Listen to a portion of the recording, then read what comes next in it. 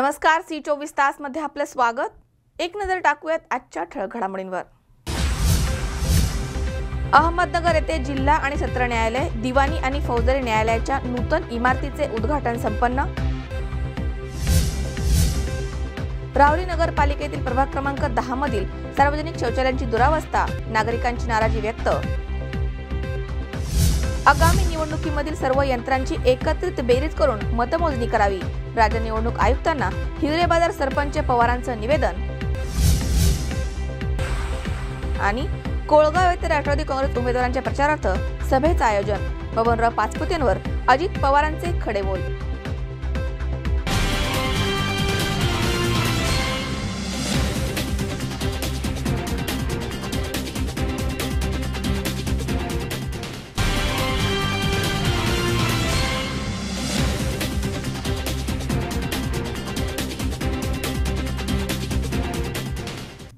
बातमीपत्रात आपलं स्वागत. भव्य सविस्तर वृत्त.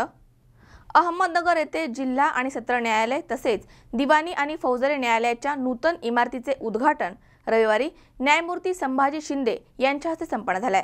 दरम्यान आता या नूतन इमारतीच्या रूपानं जिल्ह्याचं स्वप्न साकार झालंय. अहमदनगर जिल्ह्याला ऐतिहासिक पार्श्वभूमी आहे. सहकार आणि शिक्षणामुळे ओळखल्या जाणाऱ्या जिल्ह्यास आता जिल्हा आणि सत्र न्यायालयाच्या नूतन इमारतीमुळे वैभव प्राप्त झालंय. अहमदनगर येथील जिल्हा आणि सत्र न्यायालय तसेच दिवाणी आणि फौजदारी न्यायालयाच्या नूतन इमारतीचं उद्घाटन रविवारी न्यायमूर्ती संभाजी शिंदे यांच्या हस्ते संपन्न झालंय. दरम्यान या नूतन इमारतीच्या रूपानं जिल्ह्याचं स्वप्न साकार झालंय. यावेळी प्रमुख पाहुणे म्हणून न्यायमूर्ती अनंत बदर तर अध्यक्षस्थानी प्रमुख जिल्हा आणि सत्र न्यायाधीश श्रीकांत कुलकर्णी आणि न्यायाधीश सुवर्णा केवले उपस्थित होते. या कार्यक्रमाप्रसंगी जिल्हाधिकारी अनिल कवडे जिल्हा परिषदेचे मुख्य कार्यकारी अधिकारी रवींद्र बिनवडे जिल्हा पोलीस अधीक्षक डॉक्टर सरोप्ती पाटी advocate Suresh Lagad advocate B B Kale advocate Rajendra Pisal advocate Rajesh Kotare आदी उपस्थित होते. नमस्कार. आज अहमदनगर शहरामध्ये नवीन जिल्हा न्यायालयाच्या इमारतीचे उद्घाटन आदरणीय न्यायमूर्ती श्री एस एस शिंदे साहेब औरंगाबाद खंडपीठ मुंबई उच्च न्यायालय यांच्या हस्ते या ठिकाणी संपन्न झालेले आहे. या कार्यक्रमाला प्रमुख अतिथी म्हणून आदरणीय न्यायमूर्ती श्री एम बदर साहेब होते आणि या कार्यक्रमाचे अध्यक्ष प्रधान जिल्हा व सत्र न्यायाधीश श्री श्रीकांतजी कुलकर्णी होते. या कार्यक्रमाचे उद्घाटन सकाळी अकरा वाजता संपन्न झालेले आहे. या इमारतीमध्ये एकूण एकोणपन्नास कोर्ट हॉल्स आहेत. एक कॉन्फरन्स हॉल आहे. एक मीटिंग हॉल आहे. बारला बसण्याकरिता वकिलांना बसण्याकरिता एकूण सहा हजार चौरस फुटाची जागा देण्यात आलेली आहे. या इमारतीमध्ये वायफाय सिस्टम आहे सी सी टी व्ही आहे. आणि एल सी डी ही ची सुविधा करून ठेवण्यात आलेली आहे. पुढे एल सी डी आल्यानंतर एल सी डी लावण्यात येणार आहे. त्यानंतर प्रत्येक फ्लोअरवर कोचमध्ये पक्षकारांसाठी बसण्याची व्यवस्था करण्यात आलेली आहे. याशिवाय या बिल्डिंगमध्ये एकूण बारा लिफ्ट्स आहे सहा न्यायाधीशांकरिता आणि सहा पक्षकारांनी वकील मंडळीकरिता देण्यात आलेली आहे. तसेच या ठिकाणी बेसमेंटला पार्किंगची सुविधा करण्यात आलेली आहे. त्या बेसमेंटला वकील न्यायाधीश आणि कर्मचारी यांचे पार्किंगची व्यवस्था करण्यात आलेली आहे. आणि बाहेर जे मोठी जागा आहे तर एक ठिकाणी फोर व्हीलरची आणि दुसऱ्या ठिकाणी टू व्हीलरची अशी वकिलांकरिता आणि पक्षकारांकरिता पार्किंगची व्यवस्था आहे. अशी ही इमारत एकूण तळ तळमजला अधिक पाच अशी ही इमारत आहे. आणि ही इमारत आज पूर्ण झालेली आहे आणि उद्यापासून या न्यायालयामध्ये कामकाज होणार आहे आणि आपण न्यायाधीश साहेबांचं न्यायमूर्ती साहेबांचं भाषणही ऐकलं त्यांनी सांगितलं की उद्यापासून या न्यायालयामध्ये न्यायालयीन कामकाज सुरू होणार आहे. अशी ही भव्य इमारत नगर या ऐतिहासिक शहरामध्ये झालेली आहे. ही आपल्याला ही या अनुषंगाने मी आपल्याला ही माहिती देत आहे स्वराज खोबरे सी चोवीस तास अहमदनगर. कळम रांजणी गटाच्या शिवसेनेच्या जिल्हा परिषद गटाच्या उमेदवार सौ प्रीतीताई थोरात आणि रांजणी पंचायत समितीच्या उमेदवार नयन तोत्रे यांचा प्रचार दौरा रांजणी पंचक्रोशीमध्ये पार पडलाय. दरम्यान मतदारांचा त्यांना उत्तम प्रतिसाद मिळतोय. कळम रांजणी गटाच्या शिवसेनेच्या जिल्हा परिषद गटाच्या उमेदवार सौ प्रीतीताई थोरात आणि रांजणी पंचायत समितीच्या उमेदवार नयन तोत्रे यांचा प्रचार दौरा रांजणी पंचक्रोशीमध्ये पार पडलाय. याप्रसंगी उमेदवारांना मतदारांनी शुभ आशीर्वाद देत विजयी होणार अशी ग्वाही दिली आहे. प्रीतीताई थोरात आणि नयनताई तोत्रे यांचे घराणेही निष्ठावंत शिवसैनिकांपैकी आहे. महिला आरक्षण असल्यामुळे दोनही जागा या महिलांसाठी राखीव होत्या. या दोनही उमेदवार शेतकरी कुटुंबातील असल्यामुळे त्यांना शेतकरी महिलांच्या समस्यांची चांगलीच जाण आहे. महिलांसाठी काम करण्याच्या हेतूने आणि लोकप्रिय खासदार शिवाजीदादा आढळराव पाटील यांच्या विकासाचा वारसा घेऊन शिवसेनेचे उमेदवार रिंगणामध्ये उतरलेत. आम्ही निवडून येणारच अशी खात्री आता या उमेदवारांना वाटतीये. नमस्कार. मी कळम चांडोली गटाची शिवसेनेची उमेदवार प्रीती प्रवीण थोरात पाटील. ही जिल्हा परिषदेची उमेदवारी आदरणीय खासदार शिवाजीदादा आढळराव पाटील. त्यांनी आमच्यावर विश्वास ठेवून आम्हाला ही संधी दिलेली आहे. ही संधी ही उमेदवारी आम्ही महिलांचे प्रश्न सोडवण्यासाठीच घेतलेली आहे. माझ्या महिलांचे काही अडचणी असतील त्यामध्ये गर्भ गर्भवती महिला असतील किंवा रोज मोलमजुरी करून जगणाऱ्या काही महिला असतील त्यांच्यासाठी जे जिल्हा परिषदेच्या ज्या काही योजना असतील त्या सर्व योजना तळागाळातील घटकापर्यंत पोहोचवण्याचा आमचा या ठिकाणी प्रामाणिक प्रयत्न असेल. आदरणीय खासदार शिवाजीदादा आढळराव पाटलांनी आम्हाला ही संधी दिलेली आहे. त्या संधीचं सोनं केल्याशिवाय आम्ही राहणार नाही. त्याचप्रमाणे ज्या ज्या जिल्हा परिषदेच्या योजना आहेत त्या अगदी शेवटच्या घटकापर्यंत पोहोचवण्यात मी नेहमीच तत्पर राहील. एवढंच ह्या ठिकाणी तुम्हाला सांगू इच्छिते आणि थांबते. धन्यवाद. जय हिंद जय महाराष्ट्र. मी शिवाय सुदाम भोर. राजनीगावचा रहिवासी शिवसेनेचा सुरुवातीपासूनचा कार्यकर्ता अतिशय चांगल्या परिस्थितीत इथं उमेदवार दिलेले शिवाजीदादा आणि उद्धव उद्धव उद्धवसाहेब ठाकरेंनी अतिशय चांगले सज्जन उमेदवार आहेत आणि या महिला आहेत. महिलांचे प्रश्न मांडणारे आहेत आणि इथून मागे त्यांचं कार्य अतिशय चांगलं आहे. मुळात म्हणजे आमच्या चांदवलीच्या पाटील लोकांनी आता अतिशय चांगल्या तऱ्हेने पक्षाचं काम केलेलं आहे. आणि त्यांच्याच गावात उमेदवारी मिळाली म्हणून आम्ही सगळे झटून कामाला लागलेलो आहोत. आमच्या गावातून कमीत कमी ऐंशी टक्के मतदान देऊन या अतिशय चांगल्या मतांनी निवडून येतील. बहुतेक सहा ते सात हजार मत आज मताध्यक्षांनी पाटील बाई आणि ही दुसरी आमची तोत्रे मॅडम निवडून येतील अशी आम्ही अपेक्षा करतो. जय हिंद जय महाराष्ट्र. मी थोरंदळ या गावचा रहिवासी असून थोरंदळ या गावचा उपसरपंच मंगेश टेमगिरे.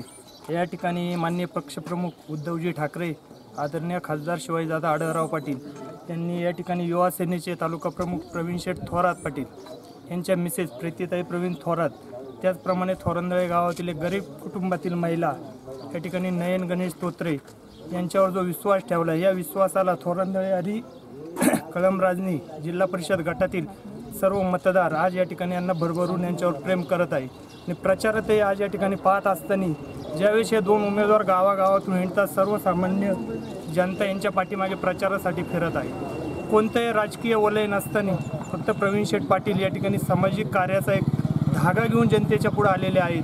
तिथून पाठीमागे उमेदवारी नसतानाही पण कुणाचीही कोणतीही परत अडचण असो या ठिकाणी प्रवीण शेठ असतील त्यांचे बंधू असतील किंवा त्यांच्या संपूर्ण कुटुंबच कायमस्वरूपी या ठिकाणी जनतेच्या सहकार्यामध्ये राहिलेलं आहे.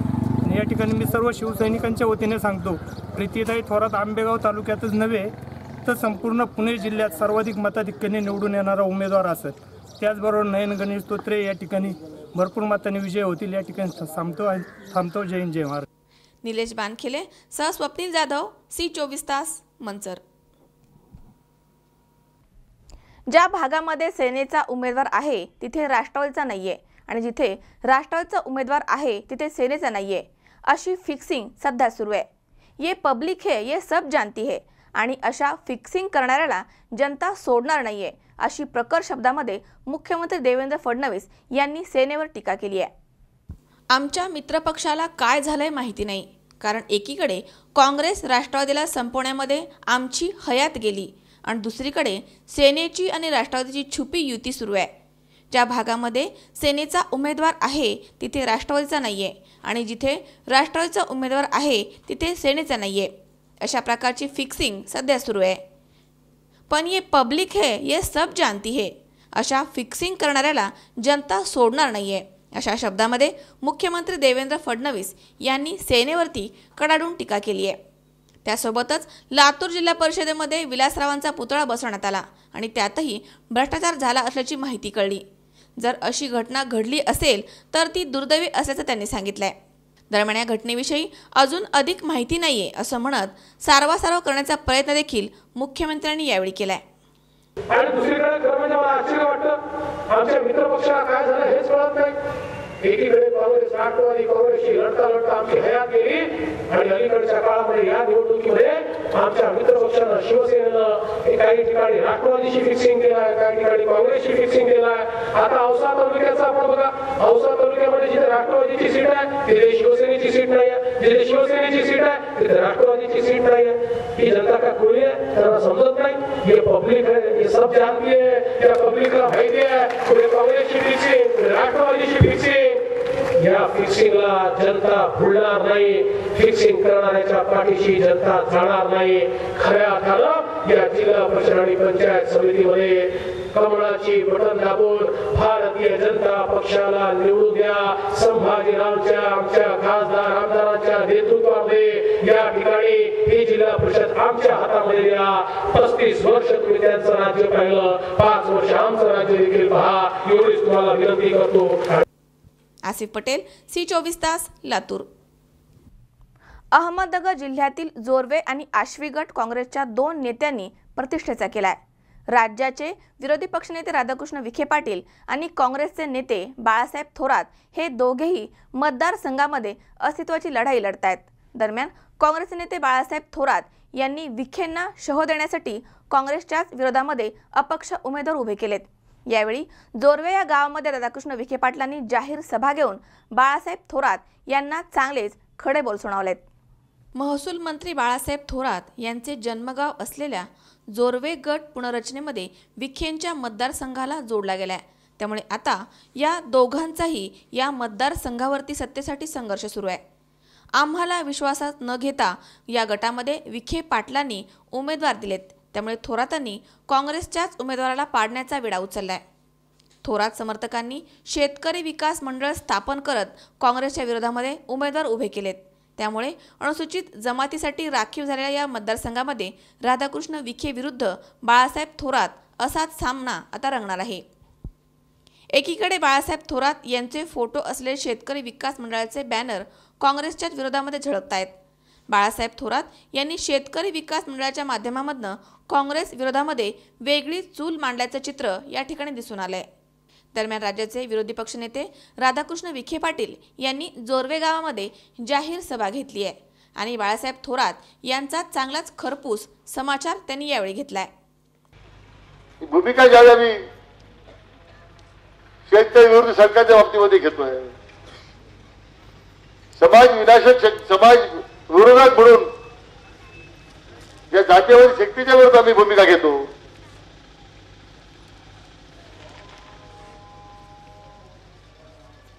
त्यावेळी काँग्रेस जनाने सुद्धा संघटितपणे या प्रश्नाचा मुकाबला केला पाहिजे. दुर्दैव काही ठिकाणी काँग्रेसमध्ये लोकांनी वेगळी दिशा निव- निवडली.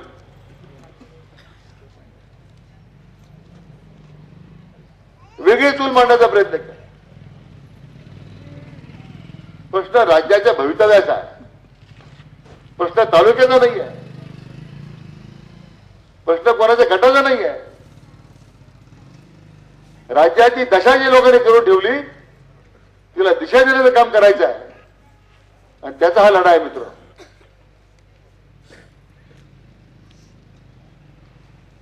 दुर्दैवानं काँग्रेसची सत्ता भोगून लोकांनी जे मंत्रिपद भोगले सत्ता भोगली. त्यांना आज डोळे पट्ट्या बांधल्या गेलेल्या आहेत. द्वेषाने ही मंडळी अस्वस्थ झालेली आहेत. आणि त्यांनी काही ठिकाणी काँग्रेसच्या विरोधात अपक्ष उमेदवार उभे केलेले आहेत.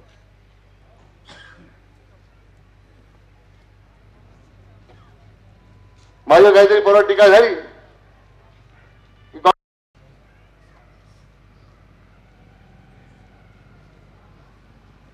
तुमच्या अर्थ काय मला समजेल आलं का?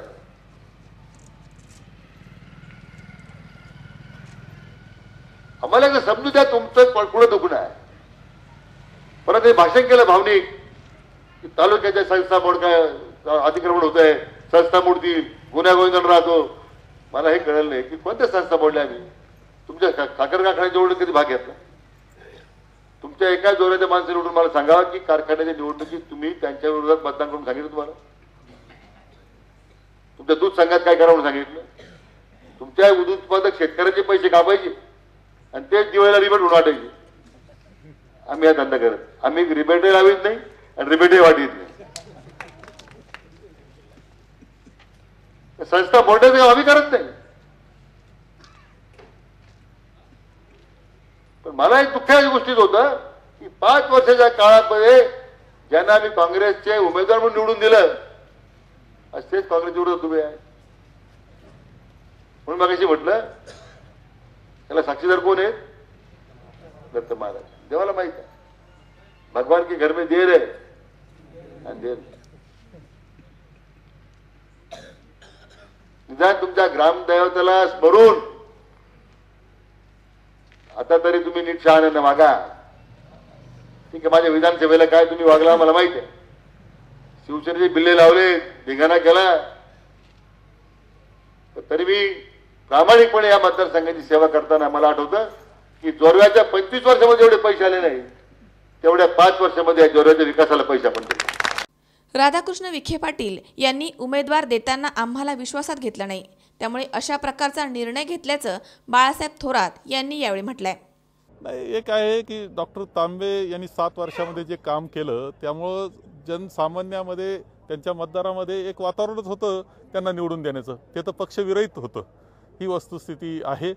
आता इथे जे चाललेलं आहे ते खरं अर्थानं दुर्दैवी आहे. काँग्रेसला ते लाभकारक नाही ही वस्तुस्थिती आहे. मी मानतो कारण मी काँग्रेसचा पहिल्यापासूनचा पाईक आम्ही आहोत. पहिल्यापासून आम्ही काम करत आलेलो आहोत. त्यांनी काळजी घेतली पाहिजे आणि सर्वांना बरोबर घेतलं पाहिजे. ती काळजी घेत नाही हे आमचं दुर्दैव आहे.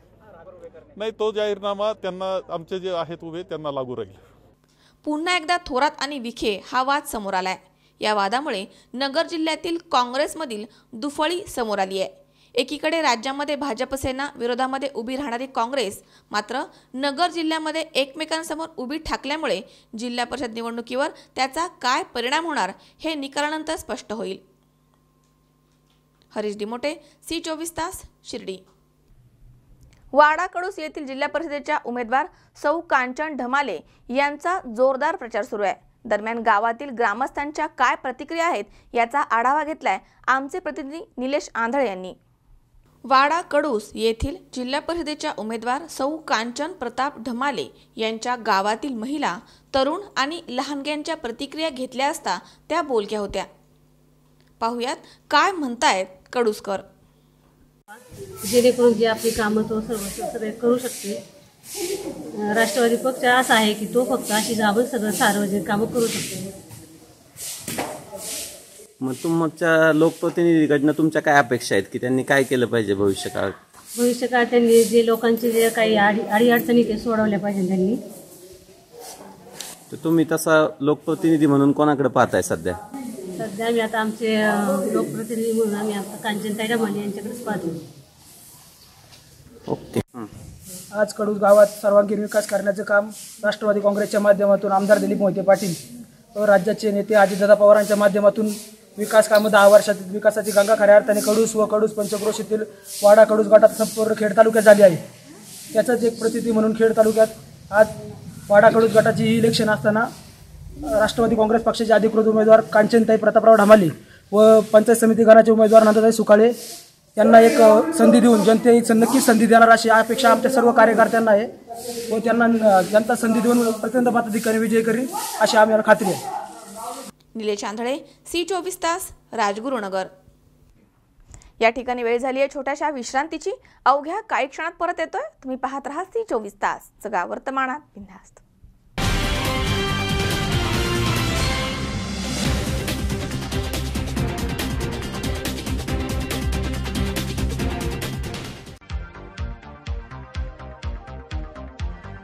फर्निचर जेव्हा तयार होतं तेव्हा ते बनतं एका सुंदर संकल्पनेतून.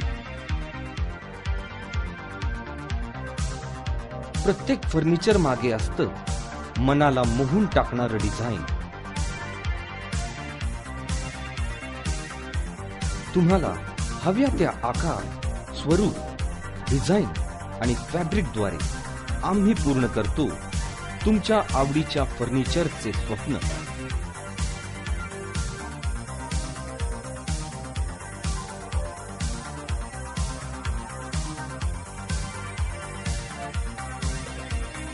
स्वप्न पहा तुम्ही. ते साकार करू आम्ही. आम्ही आहोत योगीराज फर्निचर. फर्निचर विश्वातील मराठी पाऊल. आमच्या शाखा राहुरी राहता सोने सुपा कोपरगाव आणि अहमदनगर. ग्राहक सेवा क्रमांक शहाण्णव त्र्याहत्तर पन्नास शून्य शून्य शून्य एक.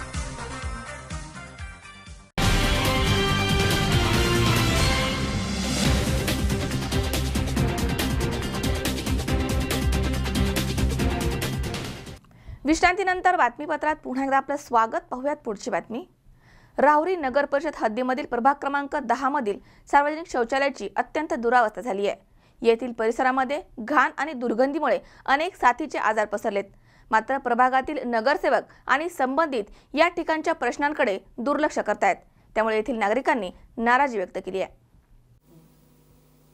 राऊरी नगर परिषद हद्दीतील प्रभाग क्रमांक दहा मधील सार्वजनिक शौचालयाची अत्यंत दुरावस्था झाली आहे. या परिसरामध्ये घाण आणि दुर्गंधीमुळे अनेक साथीचे आजार पसरलेत. रावरी नगर परिषदेकडे वारंवार तक्रार करून देखील शौचालयाची स्वच्छता होत नाहीये असा आरोप परिसरातील नागरिक करतायत. रावरी शहरातील प्रभाग क्रमांक दहा मधील राजवाडा परिसरामध्ये रावरी नगर परिषदेनं महिलांसाठी वीस आणि पुरुषांसाठी वीस अशी चाळीस शौचालय बांधली आहेत.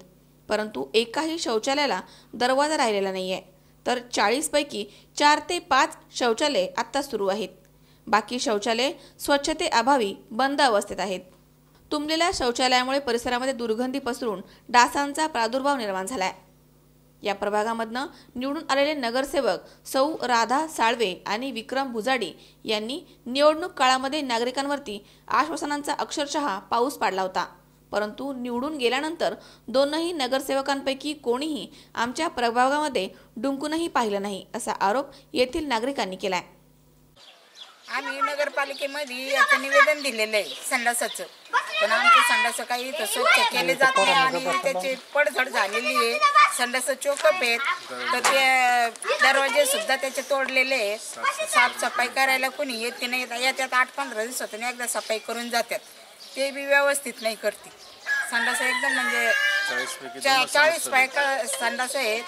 तर चा अं, दा- वीस गड्यांचे आहेत आणि वीस बायांचे आहेत. त्याच्यामध्ये गड्यांचे दोन चालू आहेत बायाचे दोन तीनच चालू आहेत. तुमच्या वार्डात नगरसेवक कोण आहे? आमच्या वार्डात नगरसेवक आता नवीन अं, स- राधा संजय साळवे. त्यांच्याकडे तक्रारी केल्या का? हा तक्रार केलेली आहे ना आम्ही त्यांच्याकडे. मग काम नाही करीत का तक्रारी करून पण? पण त्यांनी सांगितलं आम्ही येतो पण आता त्याला दोन महिने होत आलेत अजून कुणी आलेच नाही.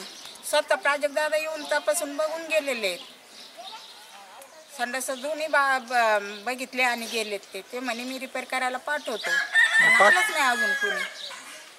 हा, सदर संडासावर खाटे गल्ली कामगार कॉलनी राजवाडा एवढे सगळे लोक अवलंबून आहेत. प्रत्येकाच्या घरात शौचालय नाही किंवा जागा नाही त्यासाठी त्यामुळे सर्वजण शौचालयाचा वापर करत आहेत परंतु आज ह्या शौचालयाची अवस्था एकदम जीर्ण झालेली आहे. ती जी बांधकाम जे एकदम जीर्ण अवस्थेत झालेलं आहे ती कधीही पडू शकते. म्हणजे ते धोकादायक आहे. त्यामुळं भविष्यात त्याची दुर्घटना घडू शकते. तसंच आसपास खूप घाणीचं साम्राज्य आहे. त्यामुळं डास डासांची पैदास जास्त झालेली. त्यामुळं त्यामुळे इथले आसपासचे लहान मुलं आजारी पडत आहेत मलेरिया टायफॉईड नाल्या पण काढायला साफ करण्यासाठी कुणी कर्मचारी येत नाहीत. येतात आणि निघून जातात पण साफ कुणी करत नाही. म्हणून माझी अशी विनंती आहे मान्य अध्यक्षांना की त्यांनी याच्यामध्ये लवकरात लवकर लक्ष घालून आमचा प्रश्न मार्गी लावा. नम्र विनंती. रावरी नगरपरिषदेचे नगराध्यक्ष प्राजक्त तनपुरे यांनी परिसरामध्ये पाहणी करून लवकर स्वच्छता केली जाईल असं आश्वासन दिलं होतं. परंतु अद्याप कोणत्याही प्रकारची स्वच्छता या ठिकाणी झालेली नाहीये. नगरसेवकांसह नगराध्यक्षांनी याकडे दुर्लक्ष केलंय. त्यामुळे आपण त्यांना मतदान करून मोठी चूक केली आहे अशी म्हणण्याची वेळ आता या प्रभागातील जनतेवर आली आहे. मनोज साळवे सी चोवीस तास राहुरी. भारतीय जनता पार्टीचे मनसर अवसारे जिल्हा परिषदेचे उमेदवार सौ वैशाली बानखेले आणि पंचायत समितीचे उमेदवार श्री संजय थोरात यांची प्रचार फेरी श्री क्षेत्र वडगाव काशिंबेग या ठिकाणी संपन्न झाली आहे. दरम्यान जनतेमधनं त्यांना उत्तम प्रतिसाद मिळतोय. भारतीय जनता पार्टीचे मनसर अवसर जिल्हा परिषदेचे उमेदवार सौ वैशाली बाणखेले आणि पंचायत समितीचे उमेदवार श्री संजय थोरात हे श्री क्षेत्र वडगाव काशिंबेग येथील पंचक्रोशीमध्ये प्रचारासाठी गेले असता त्यांना जनतेकडनं चांगला प्रतिसाद मिळालाय. भारतीय जनता पार्टीचे सरकार देशामध्ये आहे तसेच ते राज्यातही आहे आणि आता ते जिल्हा परिषद आणि पंचायत समितीमध्ये आणायला हवं. कारण राज्यामध्ये आणि देशात जरी सरकार असलं तरी जिल्हा परिषद आणि पंचायत समितीमध्ये सरकार नसल्यामुळे निधी आणण्याकरता अडचणी निर्माण होत आहेत. विकास जर करायचा असेल तर जिल्हा परिषद आणि पंचायत समितीवरती भाजपचे सरकार आणलेच पाहिजे असे वक्तव्य मतदारांनी केलं आहे उमेदवारांनी विकासाकरता भाजपला मतदान करण्याचं आवाहन केलं आहे नमस्कार मी नवनाथ थोरात आंबेगाव तालुका भारतीय जनता पार्टीचा प्रवक्ता. मी खऱ्या अर्थाने सर्व मतदार बंधू भगिनीला एक नंबर त्याची विनंती करतो की येणाऱ्या एकवीस तारखेला आपण सर्वांनी घराच्या बाहेर निघून आपला मतदानाचा जो हक्क आहे तो आपण बजवायचा आहे आणि खऱ्या अर्थाने आपल्याला ह्या तालुक्यामध्ये एक परिवर्तन घडवायचं आहे. आणि परिवर्तन घडवायचं असेल तर मतदारांनी घराच्या बाहेर आलं पाहिजे. आणि एक स्वच्छ प्रतिमेचा आणि खऱ्या अर्थाने शेतकऱ्यांच्या समस्या जाणणारा असा भारतीय जनता पार्टीने एक उमेदवार आपल्या सर्वांसमोर दिलेला आहे. तो म्हणजे संजय शेठ थोरात. आणि त्याचप्रमाणे जिल्हा परिषदच्या आमच्या वैशालीताई बानखिले एक महिलांच्या ज्या समस्या असतात त्या महिलांच्या समस्या सोडवण्यासाठी त्यांनी बचत गटाच्या माध्यमातून एक अनेक प्रयत्न केलेले आहे. ज्या महिलांना रोजगार नव्हते त्या रोजगार उपलब्ध करून दिलेले आहे. काहींच्या अडीअडचणी होत्या त्या उपजिल्हा रुग्णालयामध्ये दोन महिलांच्या अडीअडचणीला त्यांनी न्याय दिलेला आहे. त्याचप्रमाणे आमचे पंचायत समितीचे उमेदवार संजय शेठ थोरात यांनी एक संघर्षामधून खऱ्या अर्थाने माणूस कसा उभा होतो आणि आपलं जीवन कसं घडवतो तो आपल्याला यशोगाथा ही पुढारी या पेपरमध्ये यशोगाथा आपण जर ऐकली असेल तर ती पहा आणि नसन पाहिले तर ती ऐका. कारण खऱ्या अर्थाने एक जीवन त्यांचं त्यांनी पूर्णपणे आपलं शिक्षण होऊन एक मंचरमध्ये अतिशय सुंदर अशी आकाश डेअरी आणि त्या डेअरीच्या माध्यमातून ज्या शेतकऱ्यांना त्यांनी एकत्र करून जे गवळी असतात त्या गवळींना एकत्र करून एक संघटन बांधून त्या गवळ्यांना न्याय देण्याचं काम जर या तालुक्यामध्ये जर कोणी केलं असेल तर सर्व गावड्यांच्या तोंडावरती एकच नाव असतं तर ते म्हणजे संजय शेठ थोरात. आणि खऱ्या अर्थाने आपण पाहतोय की अनेकांना आपण निवडून दिलं राष्ट्रवादी असेल शिवसेना असेल पण आता ह्या तालुक्यामध्ये जर खऱ्या अर्थाने परिवर्तन जर आपल्याला आणायचं असेल तर एक सक्षम पर्याय म्हणून भारतीय जनता पार्टी आहे. केंद्रामध्ये आपलं सरकार आहे राज्यामध्ये आपलं सरकार आहे. आणि केंद्रातलं राज्यातलं सरकार असून आपल्याला आंबेगाव तालुक्यामध्ये जर आपलं सरकार आलं तर खऱ्या अर्थाने केंद्राच्या ज्या योजना असतात राज्याच्या ज्या योजना असतात त्या योजना आम्हाला यशस्वीपणे ह्या मंचर शहरामध्ये ह्या आंबेगाव तालुक्यामध्ये पंचायत समिती जिल्हा परिषद गटामध्ये आम्हाला राबवता येईल. आणि त्या राबवत असताना आमचे गोरगरीब जे जनता असेल आमचे शेतकरी बांधव असतील जे दलित बांधव असतील मुसलमान बांधव असतील त्या सर्वांना आम्हाला न्याय हा भारतीय जनता पार्टीच्या माध्यमातून आम्हाला देता येईल. आपण केंद्रामधलं सरकार पाहताय एक स्वच्छ सरकार राज्यामधलं एक स्वच्छ सरकार. आता विरोधक काही बिनबुडाची टीका करत आहे त्यांना आतापर्यंत सरकारवरती टीका करण्यासाठी त्यांना काहीही भेटलं नाही. त्यामुळे ते काहीही टीका करू लागलेले आहे. त्यामुळे माझी या मंचरच्या आणि या आंबेगाव तालुक्यातील सर्व जनतेला माझी एक नम्रतेची विनंती आहे. की आपण घराबाहेर निघून एकवीस तारखेला खऱ्या अर्थाने आपल्याला परिवर्तन घडवायचं आहे. आणि परिवर्तन तुम्ही मताचा हक्क बजवल्याशिवाय परिवर्तन हे घडणार नाही. त्यामुळे एकवीस तारखेला आपण सर्वांनी आपल्या मताचा हक्क बजवायचा आहे. आणि आमचे संजय शेठ थोरात व आमच्या वैशालीताई बानखिले यांना प्रचंड बहुमताने आपण निवडून द्या अशी मी आपल्या सर्वांना नम्रतेची विनंती करतो. जय हिंद जय महाराष्ट्र. मी संजय जिजाभाऊ थोरात भक्ते पाटील. मनसर वडगाव या गावातनं उमेदवारी उमेदवारी जाहीर केलेली आहे माझी पक्षानं. त्या उमेदवारीच्या प्रचार करण्यासाठी मी आजला वडगाव या ठिकाणी सकाळवरनं गाव भेट दौरा ठेवलेला होता. गाव भेट दौरा करत असताना सेटेमाळा पिंगळेमाळा आणि इतर काही वस्ती वाडी वस्तीवरती आम्ही सगळ्या ठिकाणी भेटी दिल्या. भेटी दिल्या असताना बऱ्याच ठिकाणी असे प्रॉब्लेम होते का रोडचे प्रॉब्लेम आहेत शाळेचे प्रॉब्लेम आहेत काही ठिकाणी शेतीच्या मालाला भाव नाही लोकांनी प्रतिक्रिया दिल्या. त्याच्यानंतर काही सुशिक्षित मुली भेटल्या. त्याच्यातल्या एका मुलीची प्रतिक्रिया फार बोलकी होती की मला सी ए व्हायचं आहे आज अकरावीला येते पण तिला येण्या जाण्याकरता संध्याकाळी इथे बसची सोय नाही आहे एस टीची सोय नाही आहे तर अशा सगळ्या सामान्य लोकांच्या आम्ही आजला अडचणी समजावून घेतल्या. काही लोकांचे लाईटचे प्रॉब्लेम होते लाइट नाही आहे दिवसाची लाइट आहे रात्रीची ला दिवसाची लाइट नाही आहे रात्रीची लाइट आहे शेतीमालाला बाजार नाही आहे प्रामुख्यानं रोडचे खूप मोठे प्रॉब्लेम आहेत इथे. शिक्षणाचा प्रॉब्लेम आहे. आता हे प्रॉब्लेम आम्ही सगळे समजून घेतलेले आहेत. त्यात सगळ्यात महत्त्वाचा प्रॉब्लेम होता पिंगळीमाळा वस्तीवरील जे ग्रामस्थ भेटले त्यांनी सांगितलं आम्ही पंचवीस वर्ष प्रस्थापित लोकांच्या मागे लागलो तरी आमचा रोडचा प्रॉब्लेम झालेला नाही आहे तोही प्रॉब्लेम आम्ही समजून घेतलेला आहे आजला. तोही आम्ही त्या इलेक्शनच्या नंतर भारतीय जनता पार्टीच्या सरकारच्या मार्फत सोडवण्याचा प्रयत्न करणार आहोत. त्याचबरोबर फिरल्यानंतर आम्हाला समजलं वस्ती वाडी वस्तीवरती व्यायामशाळा हव्या आहेत अंगणवाड्या चांगल्या हव्या आहेत. त्या सगळ्यांचा अभ्यास केला आजला आणि निश्चितच वडगाव पी वडगाव ह्या गावाचा सर्वांगीण विकास करण्यासाठी शैक्षणिक सांस्कृतिक त्यानंतर व्यावसायिक आणि शेतीविषयक या दृष्टीने एक सुविधा चांगल्या प्रकारच्या सुविधा उत्पन्न करू आम्ही. आणि वडगाव आमच्या ज्या गाण्यातलं जे गाव आहे एक आदर्श गाव उत्कृष्ट गाव आणि सधन गाव म्हणून त्याची प्रगती व्हावी या दृष्टीने शंभर टक्के पाच वर्ष निवडून आल्यानंतर मी प्रयत्न करणार आहे अशी ग्वाही देतो आपण सर्वांना. अमोल जाधव सी चोवीस तास मंचर. सध्या सर्वत्र निवडणुकीची जोरदार तयारी सुरू आहे. दरम्यान सांडभरवाडी काळूस या गटातील शिवसेनेचे उमेदवार बाबाजी काळे हे वेगवेगळ्या सभांमध्ये आपण विकास कामे केल्याचं सांगतायत. याबाबत आढावा घेतला असता गावकऱ्यांनी देखील काळे यांनी विकास कामे केली आहेत अशी माहिती दिली आहे. सांडभोरवाडी काळूस गटातील शिवसेनेचे उमेदवार बाबाजी काळे हे वेगवेगळ्या सभांमध्ये विकास कामे केली असल्याचं सांगत असतात. म्हणून त्यांच्या गावामध्ये जाऊन याबाबत आढावा घेतला असता गावकऱ्यांनी देखील या विकास कामांची यादी वाचत एक ना अनेक विकास कामे झाले असल्याचं सांगितलंय. सध्या राजकारण हे नातीगोती जातीपाती आणि पैसा यावर अवलंबून आहे. असे असताना ठराविकच उमेदवार विकास हा अजेंडा घेऊन लोकांपर्यंत जाताना दिसत आहेत म्हणूनच उमेदवारांच्या गावामध्ये जाऊन तिथला आढावा घेण्याचा प्रयत्न आम्ही केला आहे किंवा काँग्रेसवाले शिवसेना अजून काय एक्स वाय झेड असे बरेच चिन्हवाले येऊन गेले.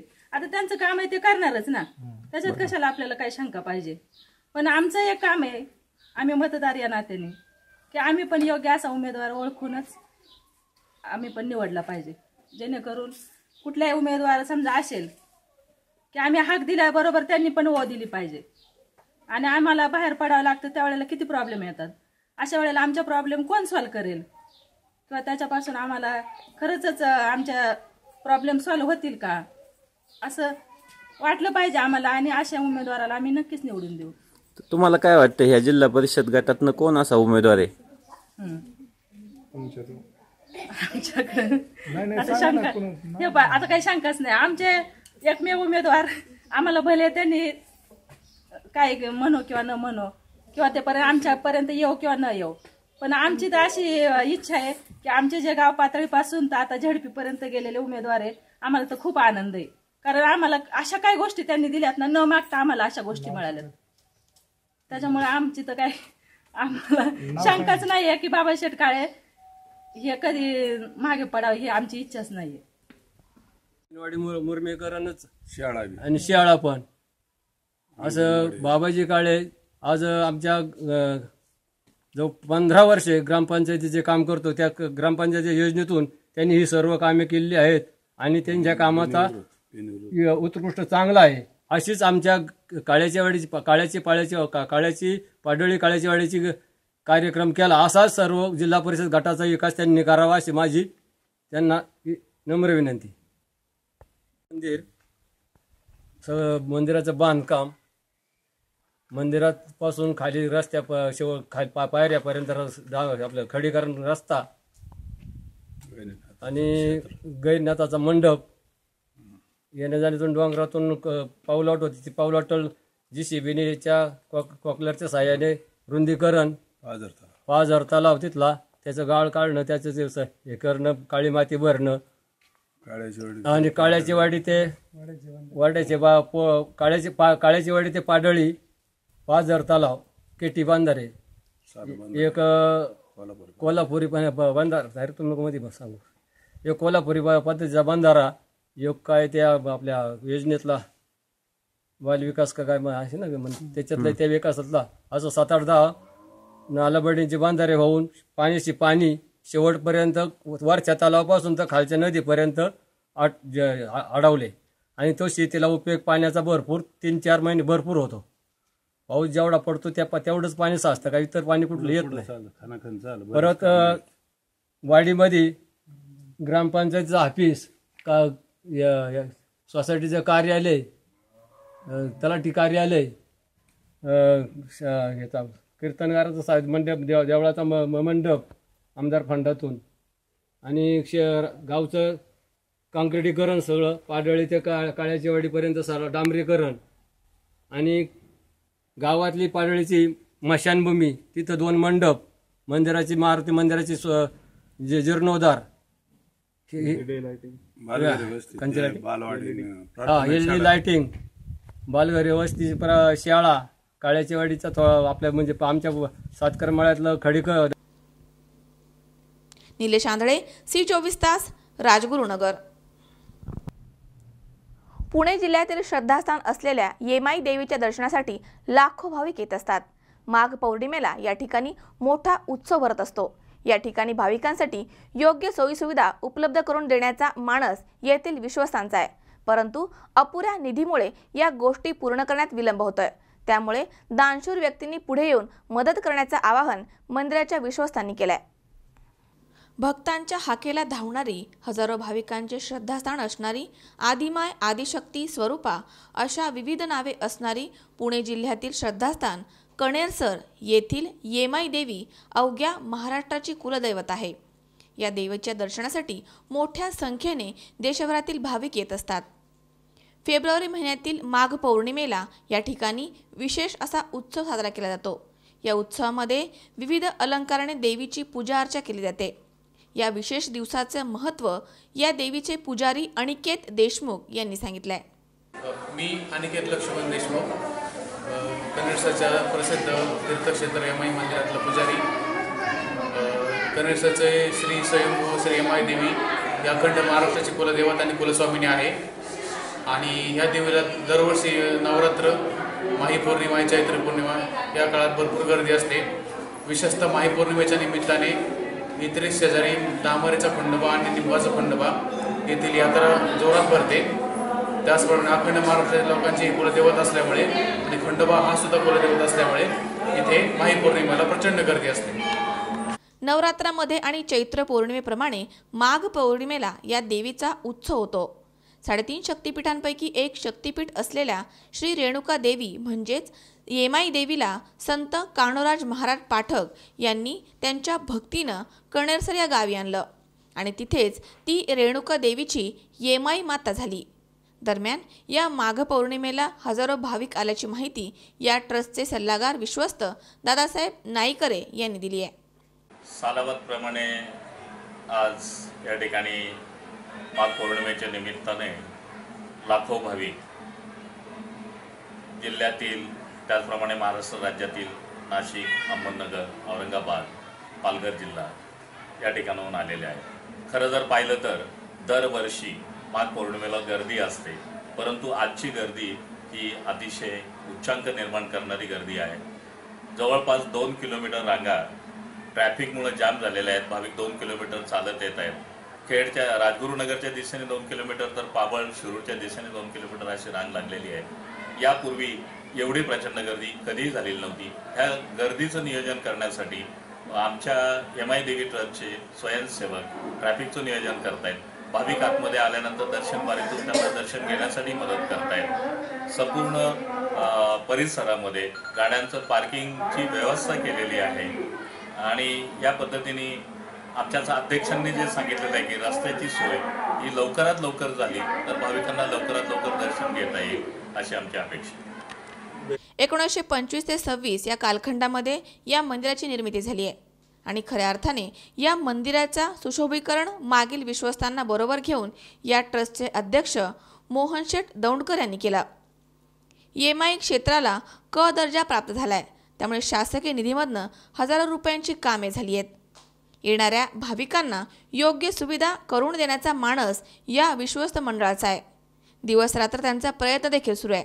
परंतु अजूनही काही गोष्टींची कमतरता असल्याचं शल्य या ट्रस्टचे विश्वस्त अध्यक्ष मोहन शेठ दौंडकर यांनी आमच्याशी बोलताना व्यक्त केलं आहे या ठिकाणी आपल्या माघ पौर्णिमेनिमित्त या ठिकाणी भाविकांची खूप अशी गर्दी या ठिकाणी अतोनात गर्दी या ठिकाणी झालेली आहे.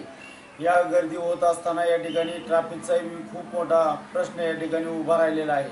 या ठिकाणी एशियडच्या माध्यमातून हा ख- पाबळपर्यंत आपला जो गोगावले वस्ती ते पाबळ असा पाबळपर्यंतचा चारपदरी रस्ता हा होणार होता.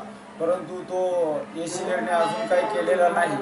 या या रस्त्यानंच या रस्त्यामुळेच या ठिकाणी आपलं एशियडला आपल्या एशियड भागातील लोकांनी या रस्ता होणार म्हणूनच या एशियडला परवानगी या ठिकाणी दिलेली आहे. आणि या ठिकाणी शासनाने पण त्याचा विचार करावा. आणि एशियडने पण लवकरात लवकर हा रस्ता पूर्ण करावा. या ठिकाणी अतोनात अशी गर्दी. आज आजपर्यंतच्या विक्रमी अशी गर्दी या ठिकाणी यमाई मातेच्या दर्शनासाठी लोकांची या ठिकाणी भाविकांची झालेली आहे. सर्व यमाई भक्त मोठ्या संख्येने या ठिकाणी सुखसोयी उपलब्ध असल्यामुळं जास्तच्या संख्येने या ठिकाणी उपस्थित राहत आहेत.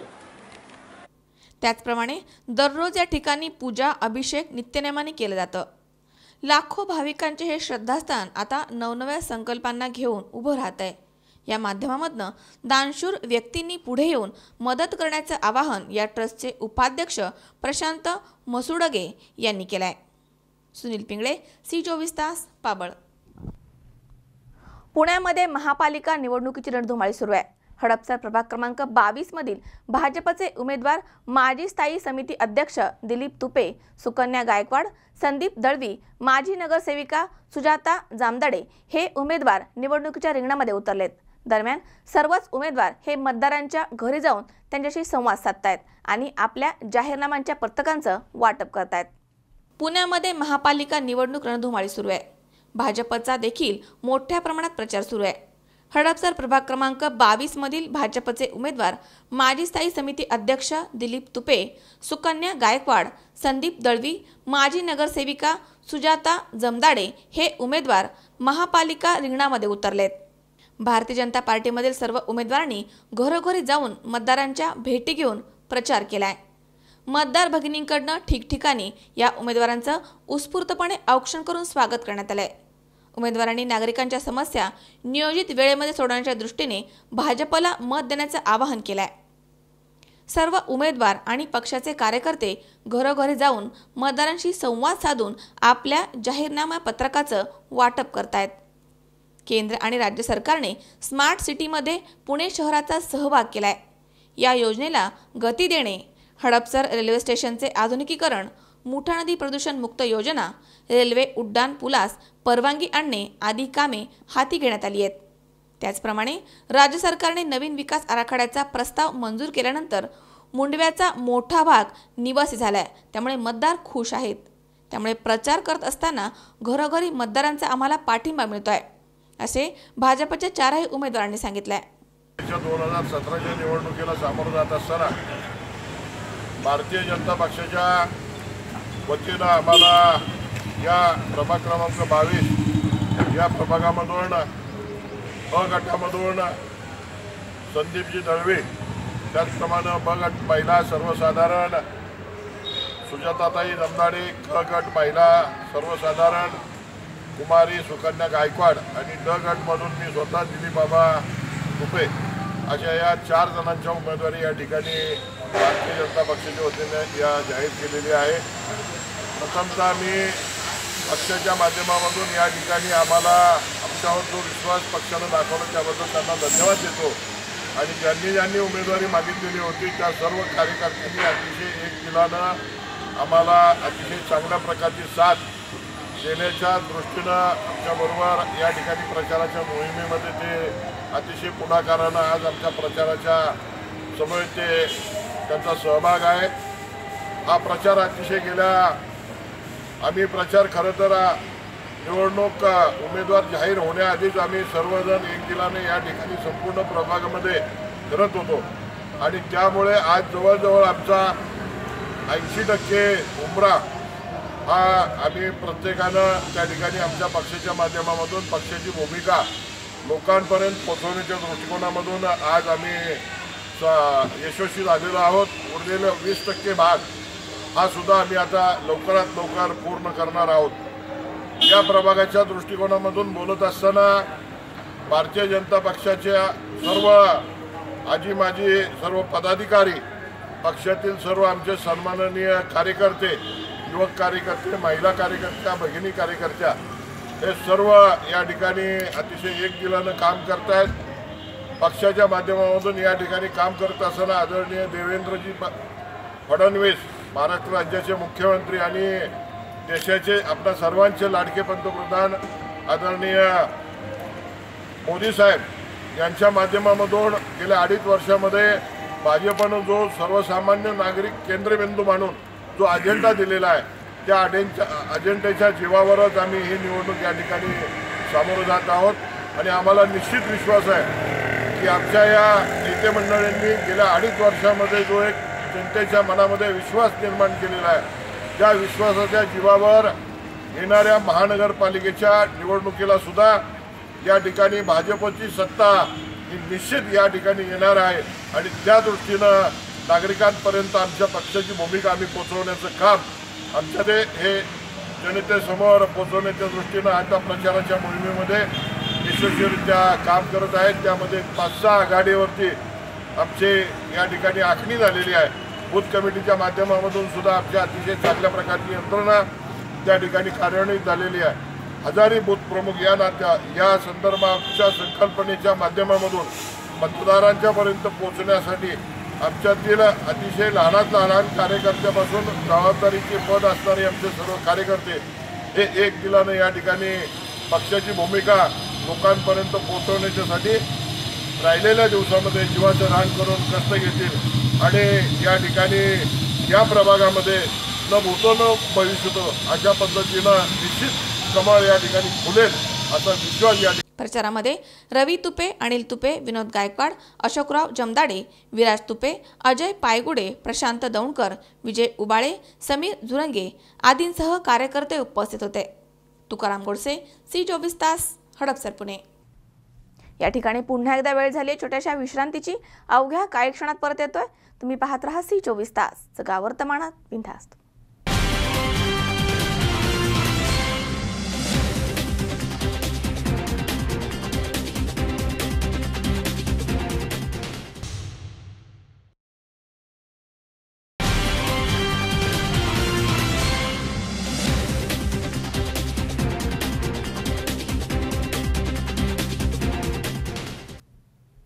विश्रांतीनंतर बातमीपत्रात पुन्हा एकदा आपलं स्वागत. पाहूयात पुढची बातमी.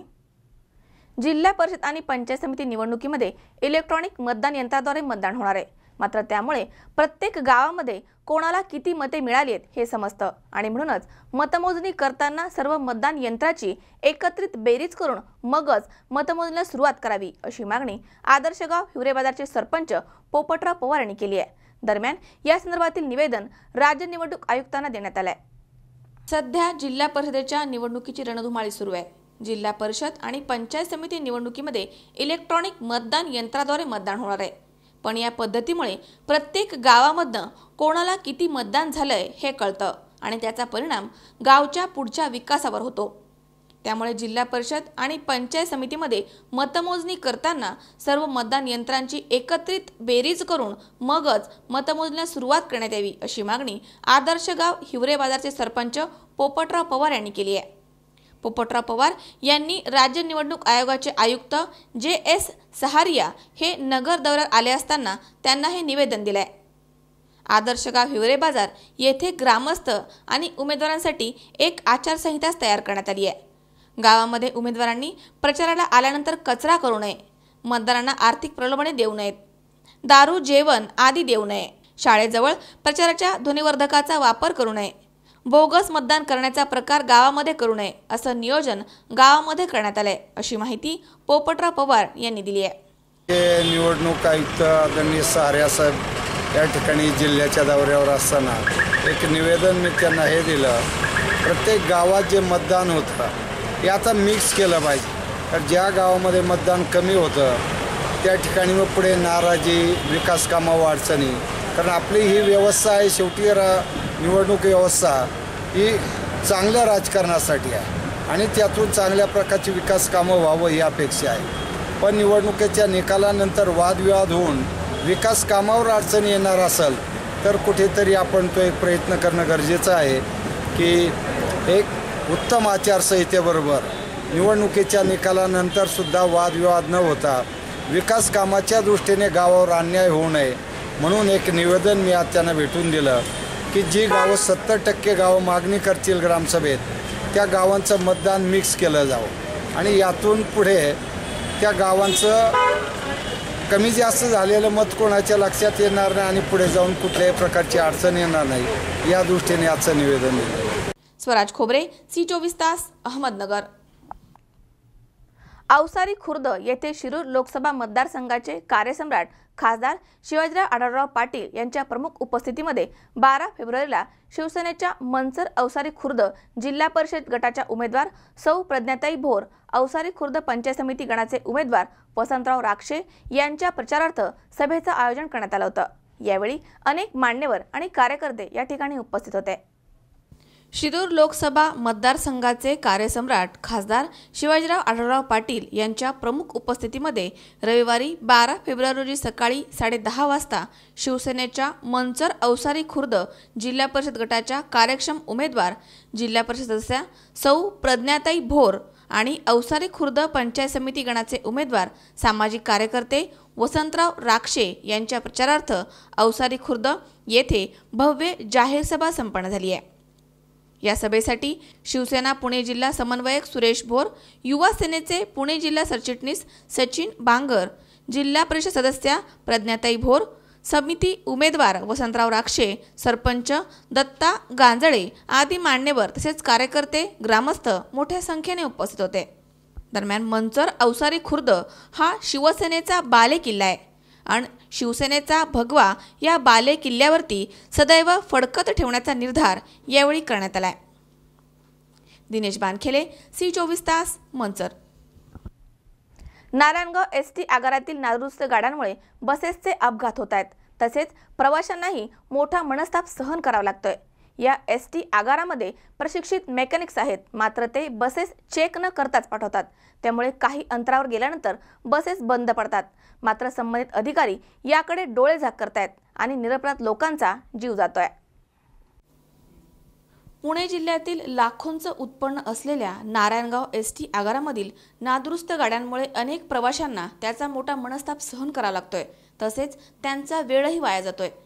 नऊ फेब्रुवारी रोजी दुपारी चार वाजता नारायणगाव डेपोमधनं नारायणगाव मंचर ही बस एका प्रवासाचं अंतर कापून झाल्यानंतर ती चेक न करताच ताबडतोब मंचरला जाण्यासाठी रवाना करण्यात आली. ही बस प्रवाशांनी खचाखच भरली होती. दरम्यान ही बस नारायणगावच्या पुढच्या इंदिरानगर कळम येथील उड्डाण भरावा या ठिकाणी मधोमध आल्यानंतर तिचे पाठ तुटून स्प्रिंगही तुटली.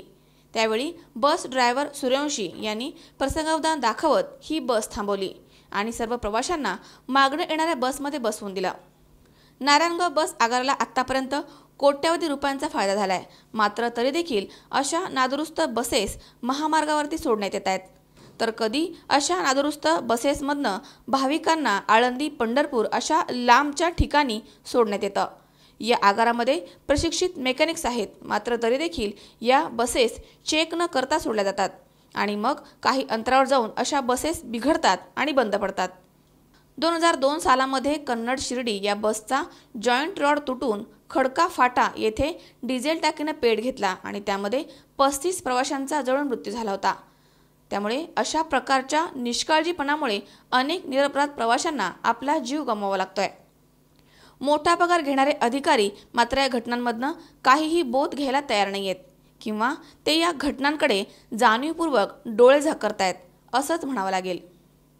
जिल्ह्यातील नारायणगाव डेपोमध्ये ज्या बसेस आहेत त्या बसेस कमीत कमी इतिहास जमा होण्यासारख्या बसेस झालेल्या आहेत.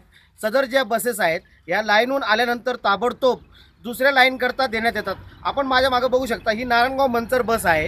ही बस नुकतीच दहा मिनिटापूर्वी नारायणगावनी पॅसेंजर घेऊन निघालेली. परंतु ऐन वेळेला चढावर आल्यानंतर इंदिरानगरचा जो कळमचा पूल आहे या पुलावर या गाडीचे पाटे तुटले स्प्रिंग तुटली. अशा वेळेस मोठी घटना दुर्घ मोठी दुर्घटना होण्याची शक्यता आहे. परंतु नारायणगाव डेपोचे डेपो मॅनेजर या बसेसचं काम पूर्णतः चांगलं होत आहे की नाही होतं आहे मेंटेनन्सची कामं होत आहेत की नाही होत आहे याकडे याकडे साफ दुर्लक्ष करत आहेत. या प्रशासनाच्या एस टी प्रशासनाच्या दुर्लक्षपणामुळे अनेक प्रवाशांना मनस्ताप सहन करावा लागतोय. आता जी बस आली होती त्या बसमध्ये फक्त मंचरचे प्रवासी बसून देण्यात आले परंतु कळमच्या प्रवाशांना जागा देण्यात आली नाही. त्यांना कंडक्टरने बसण्यास बचाव केला. परंतु या एस टी प्रशासनाच्या नाहक मनस्तापामुळे जे काय पॅसेंजर आहे पॅसेंजर लोकांना नेहमीचाच मनस्ताप सहन करावा लागतो. एकीकडे एस टी प्रवासी वाढवा अभियान राबवते आणि दुसरीकडे मात्र अशा प्रकारच्या जुनाट आणि मेंटेनन्सवर आलेल्या बसेस या हायवेवर सोडल्या जातात. अशा प्रकारे पुणे नाशिक हायवेला एन एच फिफ्टी हायवेला अशा जर खराब बसेस सोडण्यात येत असतील तर येणाऱ्या दिवसामध्ये एखादी मोठी दुर्घटना घडल्यास किंवा बसेसचे रॉड तुटल्यास यास यात यामध्ये जीवित हानी झाल्यास जबाबदार कोण राहील? सी चोवीस तास प्रतिनिधी आयुब शेख. आयुब शेख सी चोवीस तास जुन्नर. जिल्हा परिषद आणि पंचायत समिती गणाचे राष्ट्रवादी काँग्रेसचे उमेदवार सविता बगाटे आणि सविता पराड यांच्या प्रचाराला वेग आलाय. दरम्यान मतांच्या रूपाने हक्काच्या ओवाळणी आणि हक्काचा आशीर्वाद या दोन उमेदवारांनी थिटेवाडी ग्रामस्थांना मागितलाय. जिल्हा परिषद आणि पंचायत समिती गणाचे राष्ट्रवादी काँग्रेसचे उमेदवार सविता बगाटे आणि सविता पराड यांनी प्रचारामध्ये वेग घेतलाय. थिटेवाडी येथे कोपर सभा घेऊन त्यांनी मतदारांच्या भेटी घेतल्यात त्यांच्या अडचणी जाणून घेतल्यात आणि त्यांच्याशी संवाद साधलाय. सविता बगाटे आणि सविता पराड या मागील काही दिवसांपासून मजूर शेतकरी कष्टकरी तसेच नागरिक यांच्या सहवासामध्ये राहत आहेत आणि त्यांच्या समस्या जाणून घेत आहेत थेटेवाडी येथे सभेचं आयोजन करत मतदारांना त्यांनी आवाहन केलं आहे त्यामध्ये सौ सविता बगाटे या थिटेवाडी येथील कैलासवासी कैलास थिटे गुरुजी यांच्या कन्या आहेत. थिटेवाडी येथील माहेरच्या माणसांना माहेरचा आहेर म्हणून मतरूपानं मतदान करण्याची विनंती त्यांनी या प्रसंगी केली आहे. तर सविता पराड याही या गावच्या सुनबाई आहेत. त्यामुळे सासरच्या लोकांनी पाठीमागे ठाम उभे राहण्याचं आवाहन त्यांनी यावेळी केलंय. समाजकारणाच्या माध्यमामधनं काम करत असताना पाबळ केंद्र गटामध्ये असंख्य विकास कामे करण्याची संधी या दोनही उमेदवारांना मिळाली आहे. त्या संधीचं ते सोनं केल्याशिवाय राहणार नाही. अशी प्रतिक्रिया यावेळी माजी पंचायत समिती सदस्य शांताराम चौधरी पाटील यांनी व्यक्त केली आहे. नामदार वळसे पाटील कार्यसम्राट अशोक बापू पवार सभापती प्रकाश बापू पवार जिल्हा परिषद सदस्य नंदकुमार पिंगळे या सगळ्यांच्या विश्वासाच्या बळावरती दोनही उमेदवार जिल्हा परिषद पंचायत समिती माध्यमामधनं समोर येत आहेत. खूप काही केलंय आणि बरंच काही करायचे याच भूमिकेमधनं येत्या एकवीस तारखेला मतांच्या रूपानं मतांची भावबीज आणि मतांची ओवाळणी द्यावी अशी हक्काची भावबीज आणि आशीर्वाद सविता बगाटे आणि सविता पराड यांनी या प्रसंगी मागितली आहे. त्याला थिटेवाडीतील ग्रामस्थ युवा कार्यकर्ते महिला यांनी एकमुख प्रतिसाद दिलाय त्यावेळी राष्ट्रवादीच्या विविध पदाधिकारी या ठिकाणी उपस्थित होते. एकवीस तारखेला जिल्हा परिषद आणि पंचायत समिती या निवडणूक आलेली आहे. त्या निवडणुकीच्या निमित्ताने या ठिकाणी आपल्या गावामध्ये राष्ट्रवादी काँग्रेस पक्षाने जे उमेदवार दिलेले आहेत त्यामध्ये केंदूरगणातील सविताताई पराड आणि पावळ जिल्हा परिषद गटातून सविताताई बगाटे आणि पावळगणातील सुभाषराव उमाप असे हे तीन उमेदवार राष्ट्रवादी काँग्रेस पक्षाने आपल्यासमोर दिलेले आहेत. ते देत असताना किंदूरमधील बऱ्याचशा मंडळींनी उमेदवारी मागितली होती. त्याच पद्धतीने पाबळमध्ये मागितली होती. करंदीने देखील मागितली होती. परंतु उमेदवारी देत असताना नेत्यांना सुद्धा खूप अडचणी येतात. त्या सगळ्या अडचणीवर मात करून जिंकणाऱ्या उमेदवाराला उमेदवारी दिली जाते. ती कशा पद्धतीने दिली जाते त्याच्यामध्ये बरेचसे त्यांचे आडाखे असतात. ते आडाखे ठेवून या ठिकाणी सविताताई बघाटे यांना उमेदवारी जिल्हा परिषदची दिलेली आहे. आणि बाकीच्या देखील गणामध्ये कि करंजीचे लोक असतील मला वाटतं या ठिकाणी दादा दांबाळकर आहेत. त्यांच्या मंडळीने देखील उमेदवारी मागितली होती. तेही तितक्या मलाचे होते. परंतु काही आडांख्यामध्ये थोडेसे काही कमतरता पडले असेल म्हणून त्यांना उमेदवारी न देता सविताताई पराड यांना उमेदवारी मिळाली. तेव्हा या अशा दोन सविताताई बघाटे आपल्यासमोर पक्षाने दिलेल्या आहेत. अगोदरच्या सर्व युवकांनी या ठिकाणी शिवराज तात्यांनी आणि संभाजीराजे साकोरे यांनी अतिशय पोटतुडकीने या ठिकाणी त्यांची भावना व्यक्त केलेली आहे. आणि ती बरोबर आहे. आपण पहिल्यांदा ज्या वेळेला काही करायचं म्हटल्याच्यानंतर चूक झाल्याच्यानंतर मागून ती सुधारता येत नाही. त्यापेक्षा त्यांनी आत्ता मागं काही चुका झाल्या असतील त्या सोडून देऊन आता पहिल्यांदा आपण त्या चुका सुधारण्याचा प्रयत्न करू आणि चांगल्या ताट मानेने समाजामध्ये जाण्याचा प्रयत्न करूया असं शौरव ताते आणि संभाजीराजे साकोरेंनी या ठिकाणी मनोगत व्यक्त केलेलं आहे. कारण पक्ष म्हटल्याच्या नंतर बऱ्याचशा लोकांना सगळ्यांना त्या ठिकाणी अधिकार असतो मागण्याचा. आणि ते कोणाला तरी एकाला दिलं जातं. आणि चार मागणारे असतात त्यांना देखील वाटतं की आपल्याला ना मिळाली. परंतु जे ज्यांना नाही मिळाली त्यांना आपण आणखीन काहीतरी थोडं साखोऱ्यांनी सांगितलं की टोचत राहतो. तसे त्या लोकांना टोचत राहिल्याच्या नंतर थोडंसं मनाला हे वाटतं. परंतु या ठिकाणी ठेटेवाडीने ठरवलेलं आहे की आमची मुलगी त्या ठिकाणी आहे. त्या मुलीच्या पाठीमागे राहणार आहोत आणि या गावची सून सविता पधार आहे. त्या सुनेच्या पाठीमागे राहणार आहोत. असं ठेटेवाडीकरांनी या ठिकाणी आपल्या उपस्थितीवरून जाणून दिलेलं आहे. आणि हे सगळं काही होत असताना पक्षाचे देखील या ठिकाणी वरच्या पातळीवर भूमिका सर्वांनी सांगितलेली आहे. शेतीमालाला बाजार नाही. शेतकरी दोन वर्ष पाठीमागे गेला. शेतकरी बाजार भावाने ते पाठीमागे गेलेला आहे. पण अनेकच्या या सरकारच्या गोष्टीच्या चुकामुळं शेतकऱ्यांना बऱ्याचशा वाटा बंद झालेल्या आहे आता ताजं उदाहरण दोन महिन्यापूर्वीचं नोटाबंदीचं नोटाबंदी जी झाली ती सरकारने केली. याच्यामध्ये कोणता नेता मोठा कुठं कोणत्या लाईनमध्ये नोटा घेताना किंवा देताना दिसला का तुम्हाला? या समोर बसलेल्या महिला.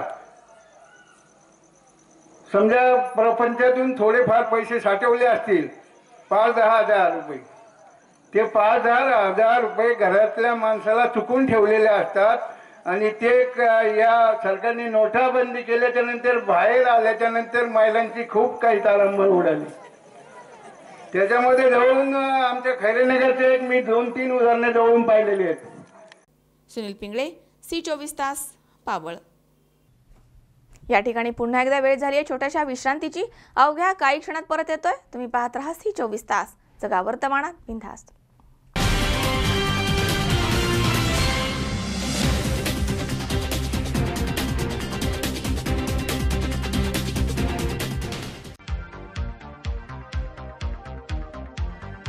फर्निचर जेव्हा तयार होतं तेव्हा ते बनतं एका सुंदर संकल्पनेतून.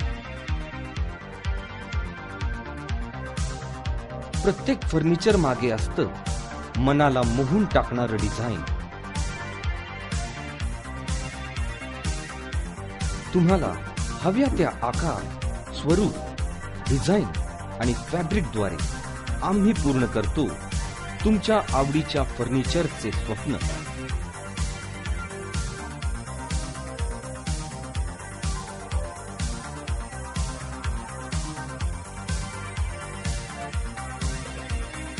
स्वप्न पहा तुम्ही. ते साकार करू आम्ही. आम्ही आहोत जोगीराज फर्निचर. फर्निचर विश्वातील मराठी पाऊल. आमच्या शाखा राहुरी राहता सोने सुपा कोपरगाव आणि अहमदनगर. ग्राहक सेवा क्रमांक शहाण्णव त्र्याहत्तर पन्नास शून्य शून्य शून्य एक.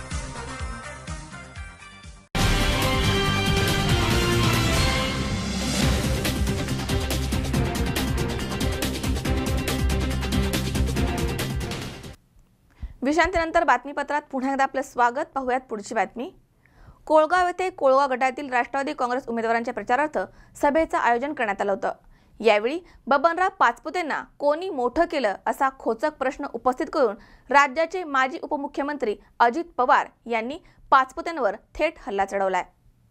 बबनराव पाचपुतेंना राष्ट्रवादी काँग्रेसनं सत्ता सामर्थ्य दिलं. पण ते म्हणतात मी वाखाऱ्यांना आणि पानसऱ्यांना मोठं केलं. मला त्यांनी सोडले. मग बबनराव पाचपुतेंना कोणी मोठं केलं?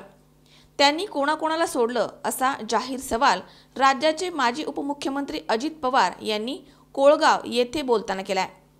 कोळगाव गटातील राष्ट्रवादी काँग्रेस उमेदवारांच्या प्रचारार्थ आयोजित केलेल्या सभेमध्ये पवारांनी पाचपुतेंवर थेट हल्ला चढवला. यावेळी पवार पुढे म्हणाले की विधानसभा निवडणुकीमध्ये शिवाजीराव नागवडेंसह सर्व नेत्यांनी मनाचा मोठेपणा दाखवला. राहुल जगतापांना आमदार केलं. आम्ही जिल्हा परिषद निवडणुकीमध्ये मतांची विभागणी होऊन दोनही काँग्रेसची आघाडी करण्यास होकार दिलाय. त्यामुळे शेतकऱ्यांना टोप्या घालणाऱ्यांचा बंदोबस्त होणार आहे. मी साईकृपा साखर कारखाना सुरू करताना म्हणालो होतो हे आवाक्यात दिसत नाही पण ते एकदम मोठे व्हायला गेले असा टोला पवारांनी मारलाय.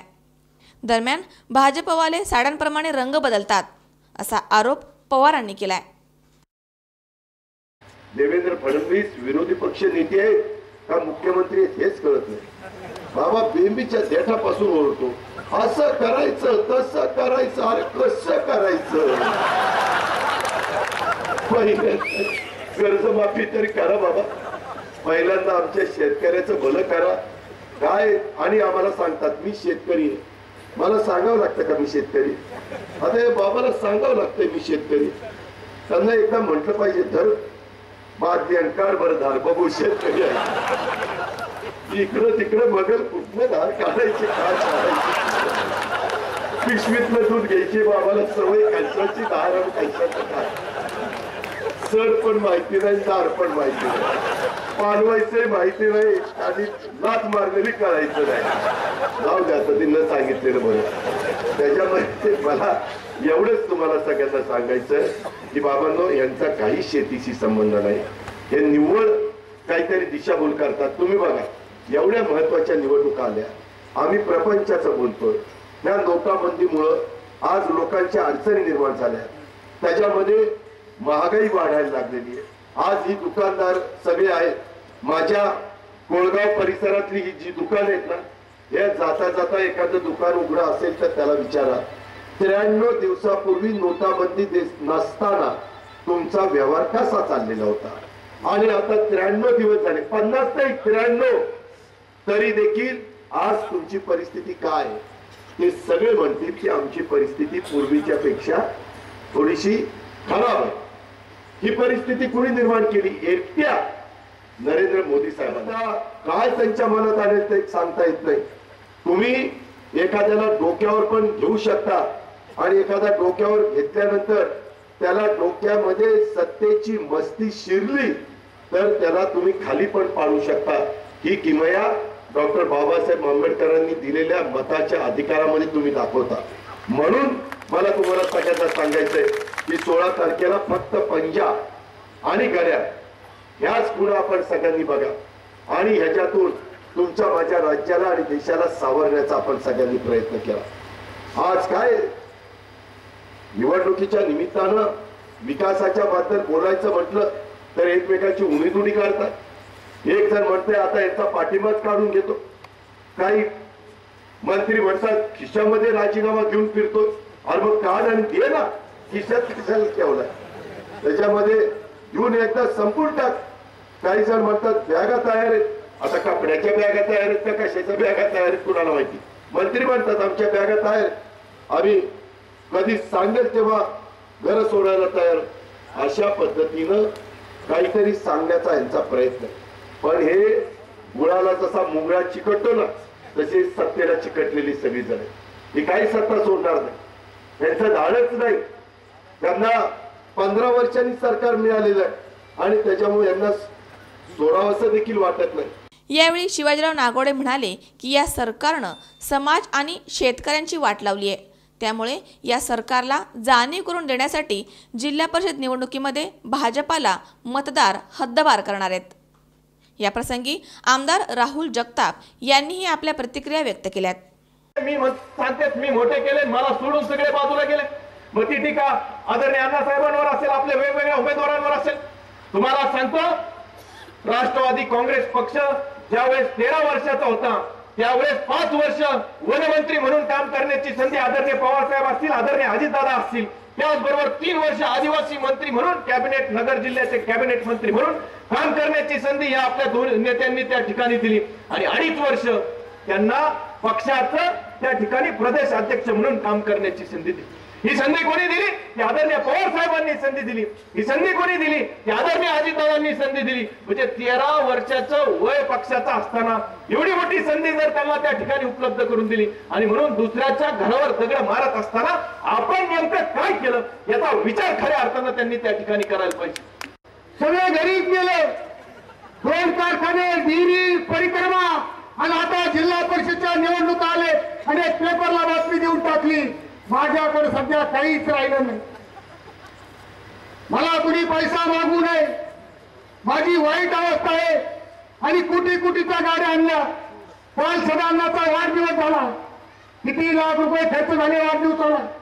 पस्तीस लाख रुपये वाढदिवसाला खर्च झाले. आणि स्वतःचा फार्म मजूर करण्यासाठी कारखान्याची ग्रामपंचायतीची थकबाकी अडतीस कोटी रुपये एका टायमाला ग्रामपंचायतीची थकबाकी भरली. अडतीस अडतीस लाख अडतीस लाख रुपये एका टायमाला ग्रामपंचायतीची थकबाकी भरली. मग तुम्ही सांगा स्वतःची हाऊस करायला कोटी रुपये खर्च करता येते आणि आमच्या सारख्या गोरगरीब शेतकऱ्याचे कुणाचे लाख कुणाचे पन्नास हजार हे शेतकऱ्याचे पैसे द्यायला नाही तर खऱ्या अर्थाने हा सवाल निर्माण आपल्या पुढे होतो. यावेळी कुंडलिकराव जगताप अण्णासाहेब शेलार अनिल घनवट प्राध्यापक तुकाराम दरेकर अर्चना पानसरे धनसिंग भोयटे गौतम घोडके यांची भाषणे झाली आहेत. सुहास कुलकर्णी सी चोवीस तास श्रीगोंदा. पुणे महापालिका निवडणुका येत्या एकवीस फेब्रुवारीला होत आहेत. चोवीस तास पाणी पुरवठ्याला अग्रक्रम देऊन काँग्रेसनं एकवीस कलमी वचननामा जाहीर केलाय. दरम्यानचे प्रकाशन माजी मंत्री हर्षवर्धन पाटील आणि शहर अध्यक्ष रमेश बागवे यांच्या हस्ते संपन्न झालाय. पुणे महापालिका निवडणुका येत्या एकवीस फेब्रुवारीला होत आहेत. चोवीस तास पाणी पुरवठ्याला अग्रक्रम देत काँग्रेसनं एकवीस कलमी वचननामा जाहीर केलाय. त्याचे प्रकाशन माजी मंत्री हर्षवर्धन पाटील आणि शहर अध्यक्ष रमेश बागवे यांच्या हस्ते करण्यात आले. यावेळी माजी आमदार मोहन जोशी नगरसेवक आबा बागुल विश्वजित कदम आदी उपस्थित होते. येत्या निवडणुकीसाठी काँग्रेसनं एकवीस कलमी वचनामा जाहीर केला आहे निवडून आल्यास पुणे महापालिका स्वखर्चानं चोवीस तास पाणी पुरवठा करेल. तसेच पाणीपुरवठा करणाऱ्या लाईनचे शंभर टक्के जाळे पूर्ण करणार आहे. तर कचरा व्यवस्थापन मलनिसारण वाहतूक व्यवस्था रस्ते विकास पार्किंग व्यवस्था आरोग्य शिक्षण झोपडपट्टी विकास निर्मळ मुळा मुठा सांस्कृतिक पुणे सुशिक्षित पुणे सुरक्षित पुणे आपत्ती व्यवस्थापन पर्यटन विकास क्रीडा महिला आणि ज्येष्ठ नागरिकांचे प्रश्न आठवडे बाजार मजूर अड्डा पर्यावरण संवर्धन उत्पन्न वाढ मोफत वायफाय झोन अशा शहराशी निगडीत सर्वच प्रश्नांचा या एकवीस कलमांमध्ये समावेश करण्यात आला आहे काँग्रेस पक्षाच्या वतीने आज आम्ही पुणे महानगरपालिकेचा वचननामा आम्ही प्रकाशित केलेला आहे. आणि ह्या वचननाम्यामध्ये एकवीस कलमी कार्यक्रम आम्ही हाती घेतलेला आहे. येणाऱ्या पुढच्या पाच वर्षामध्ये पुणेकरांनी आम्हाला सत्ता दिल्यानंतर येत्या पाच वर्षामध्ये ह्या एकवीस कलमी कार्यक्रम यशस्वी करू अशा प्रकारचा स्पष्ट आश्वासन या वचननाम्याच्या माध्यमातून दिलेलं आहे. काँग्रेस पक्ष हा नेहमीच शहराच्या विकासाकरता कटिबद्ध आहे. आणि आज पुणे शहराच्या सर्वांगीण विकास करणं हाच आमचा ध्येय आहे. आणि या शहरामध्ये एक उत्तम प्रकारच्या सर्व नागरी सुविधा देण्यावर आमचा पक्षाचा भर राहणार आहे. आणि या वचननाम्याच्या माध्यमातून ज्या गोष्टी आम्ही अंतर्भूत केलेल्या आहेत त्या सर्व एकवीस कलमी कार्यक्रम आम्ही पूर्ण करणार आहोत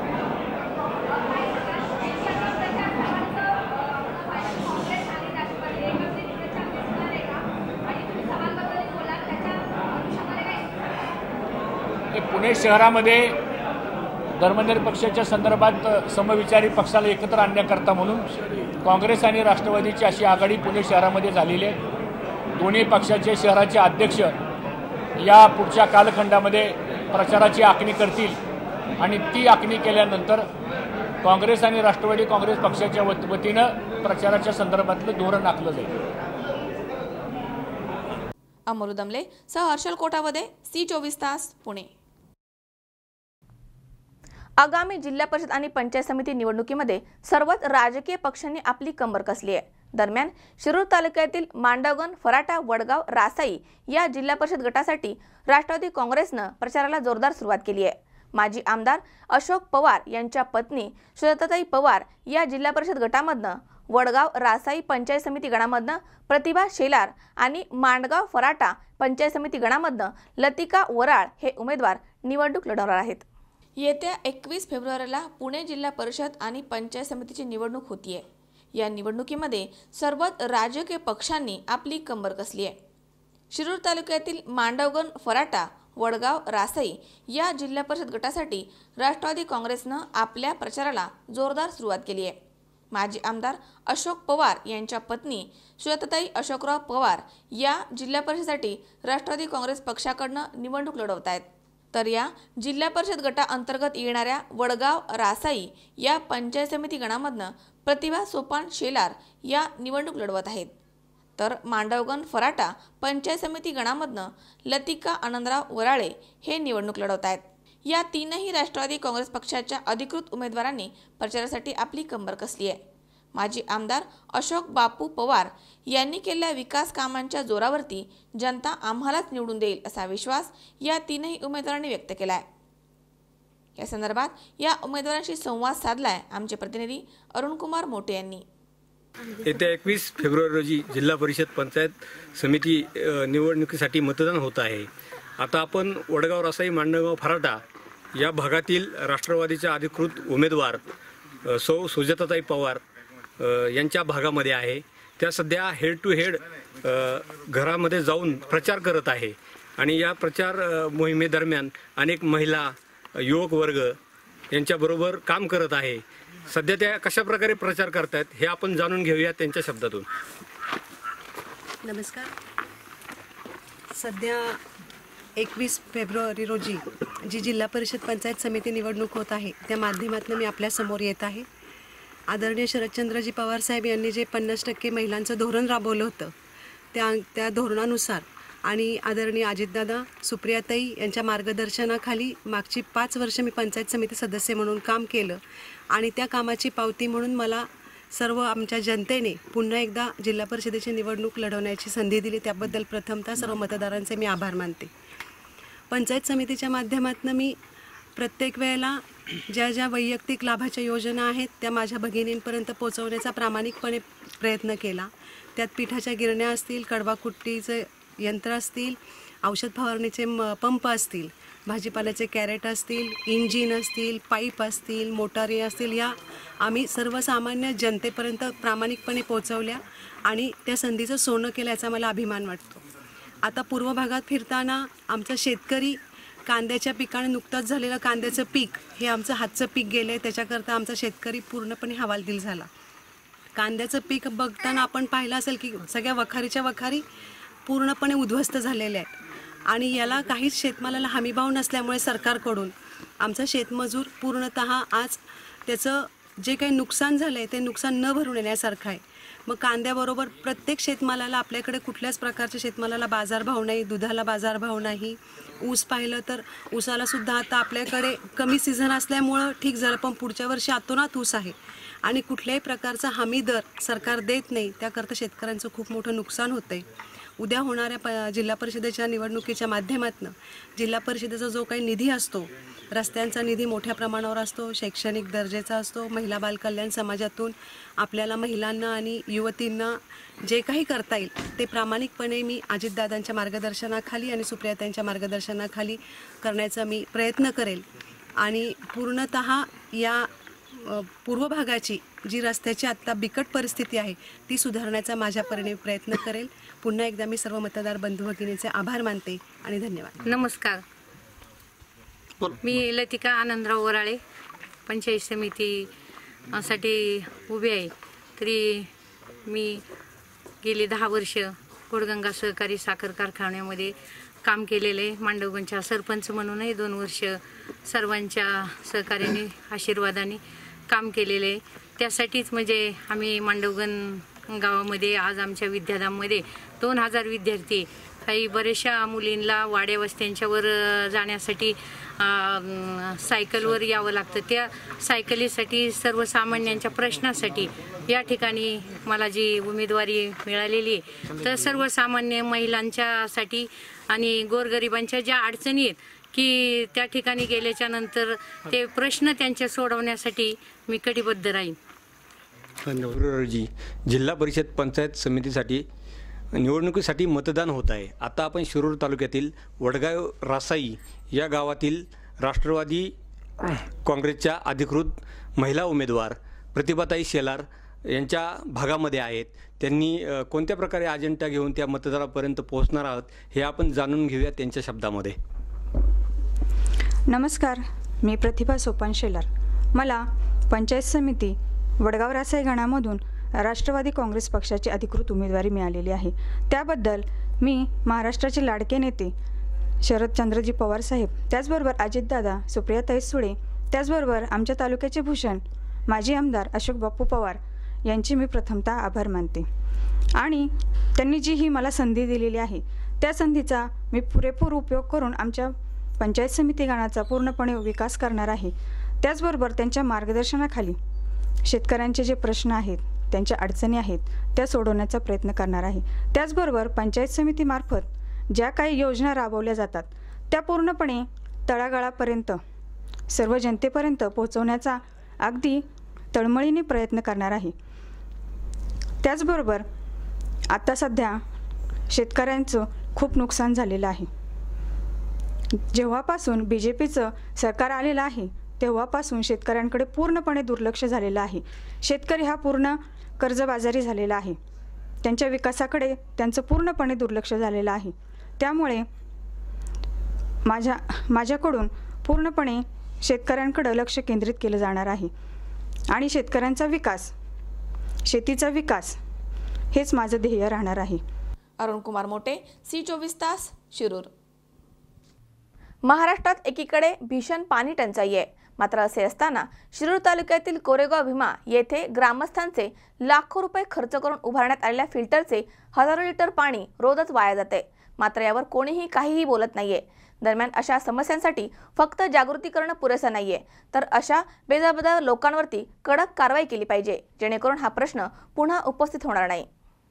एकीकडे महाराष्ट्रातील लोकांना पिण्याच्या हंडाभर पाण्यासाठी मैलनमैल भर उन्हामध्ये फिरावं लागतं असे असताना अपवाद वगळला तर शिरूर तालुक्यातील कोरेगाव भीमा येथे रोजच हजारो लिटर पाणी वाया जात आहे मात्र याबाबत कोणीही काहीही बोलत नाहीये. ही एक शोकांतिका आहे. कोरेगाव भीमाला भीमा नदी असल्यामुळे गावामध्ये पाण्याचा प्रश्न हा कधीच गंभीर झाला नाही. परंतु ग्रामस्थांचे लाखो रुपये खर्चून उभारलेले फिल्टरचे पाणी रोज पहाटे पाच वाजल्यापासून गावातील रस्त्यांवर वाहत असतं. गावची लोकसंख्या मोठी असल्यामुळे गावच्या विविध भागामध्ये दिवसभर प्रत्येक विभागावर पाणी पुरवठा करण्यात येतो. काही ठिकाणी पंचेचाळीस मिनिटं तर काही ठिकाणी तीस मिनिटे पाणी सोडण्यात येतं. सकाळी आठच्या आसपास ज्या ठिकाणी पाणी येतं तेथील प्रभाग क्रमांक दोनमधील नागरिक आपापल्या घरातील पाणी हे रोडवर सोडत असल्याचं चित्र या ठिकाणी रोजच नजरेस पडत आहे याबाबत येथील निवडून आलेले ग्रामपंचायत सदस्य या नागरिकांना काहीही बोलत नाही आहेत त्यामुळे दिवसेंदिवस पाण्याची नासाडी होतीये. या गंभीर प्रश्नाबाबत प्रभाग क्रमांक दोनचे विद्यमान ग्रामपंचायत सदस्य रमेश शिंदे यांनी सांगितले की कोरेगाव भीमातील नागरिकांसाठी नियमित प्रमाणामध्ये पाणीपुरवठा करण्यात येतो. ज्या ठिकाणचे नळजोड उंचावर आहेत अशा ठिकाणी पाण्याचा जोर कमी असल्यामुळे जास्ती वेळ पाणीपुरवठा करण्यात येतो. ग्रामस्थ पाण्याचा योग्य वापर करत नाहीयेत. हे जरी खरं असलं तरी आम्ही वेळोवेळी पाणी जपून वापरा असं आवाहन ग्रामपंचायतीमार्फत करत असतो. परिणामता आमच्यावर देखील मर्यादा असल्याचं त्यांनी यावेळी सांगितलंय. तर याच प्रभागाच्या ग्रामपंचायत सदस्या वृषाली हनुमंत गव्हाणे पाटील यांनी सांगितले की गावामध्ये सध्या बोगस पाण्याचे जोड मोठ्या प्रमाणात आहेत. त्यामुळे जास्ती प्रमाणात पाणी वाया जात आहे अशा बेकायदेशीर जोड वापरणाऱ्यांवरती कडक कारवाई येत्या काळामध्ये करण्यात येणार आहे. तसेच पाण्याबाबत लोकांची मानसिकता बदलण्यासाठी वेळ लागेल. पाणी प्रश्नी आपण वेळोवेळी आवाज उठवत असतो परंतु यामध्ये देखील राजकारण होत असल्याचं त्यांनी यावेळी सांगितलंय. सकाळच्या वेळी गावातील महिला घरातील वापराचं पाणी भरून झाल्यानंतर उरलेलं पाणी चक्क सिमेंटच्या रोडवर टाकतात. त्यामुळे हजारो लिटर पाण्याची नासाडी होतीये. हे रस्त्यावरील पाणी अनेक ठिकाणी सिमेंटच्या रस्त्यामुळे साचलं जात आहे परिणामतः या जमा झालेल्या सांडपाण्यामुळे डेंग्यू आदीच्या मच्छरांच्या प्रमाणामध्ये वाढ होण्यास मदत होतीये. या प्रश्नांबाबत फक्त जागृती पुरेशी नाहीये. तर अशा लोकांवर कारवाई होणं गरजेचं आहे. किमान ग्रामपंचायतीने रस्त्यावरील नळांना तोटी जरी लावल्या तरी वाया जाणाऱ्या पाण्याचा प्रश्न कायमचा निकाली निघू शकतो. गजानन गव्हाणे सी चोवीस तास कोरेगाव भीमा. कळंब रांजणी जिल्हा परिषद गटातील शिवसेनेच्या अधिकृत उमेदवार सौ प्रीतिताई थोरात आणि कळंब पंचायत समितीच्या अधिकृत उमेदवार सौ जयश्रीताई गाढे यांचा साकोरे म्हाळुंगे या ठिकाणी प्रचार फेरी संपन्न झाली आहे. दरम्यान जनतेकडनं त्यांना चांगला प्रतिसाद मिळतोय.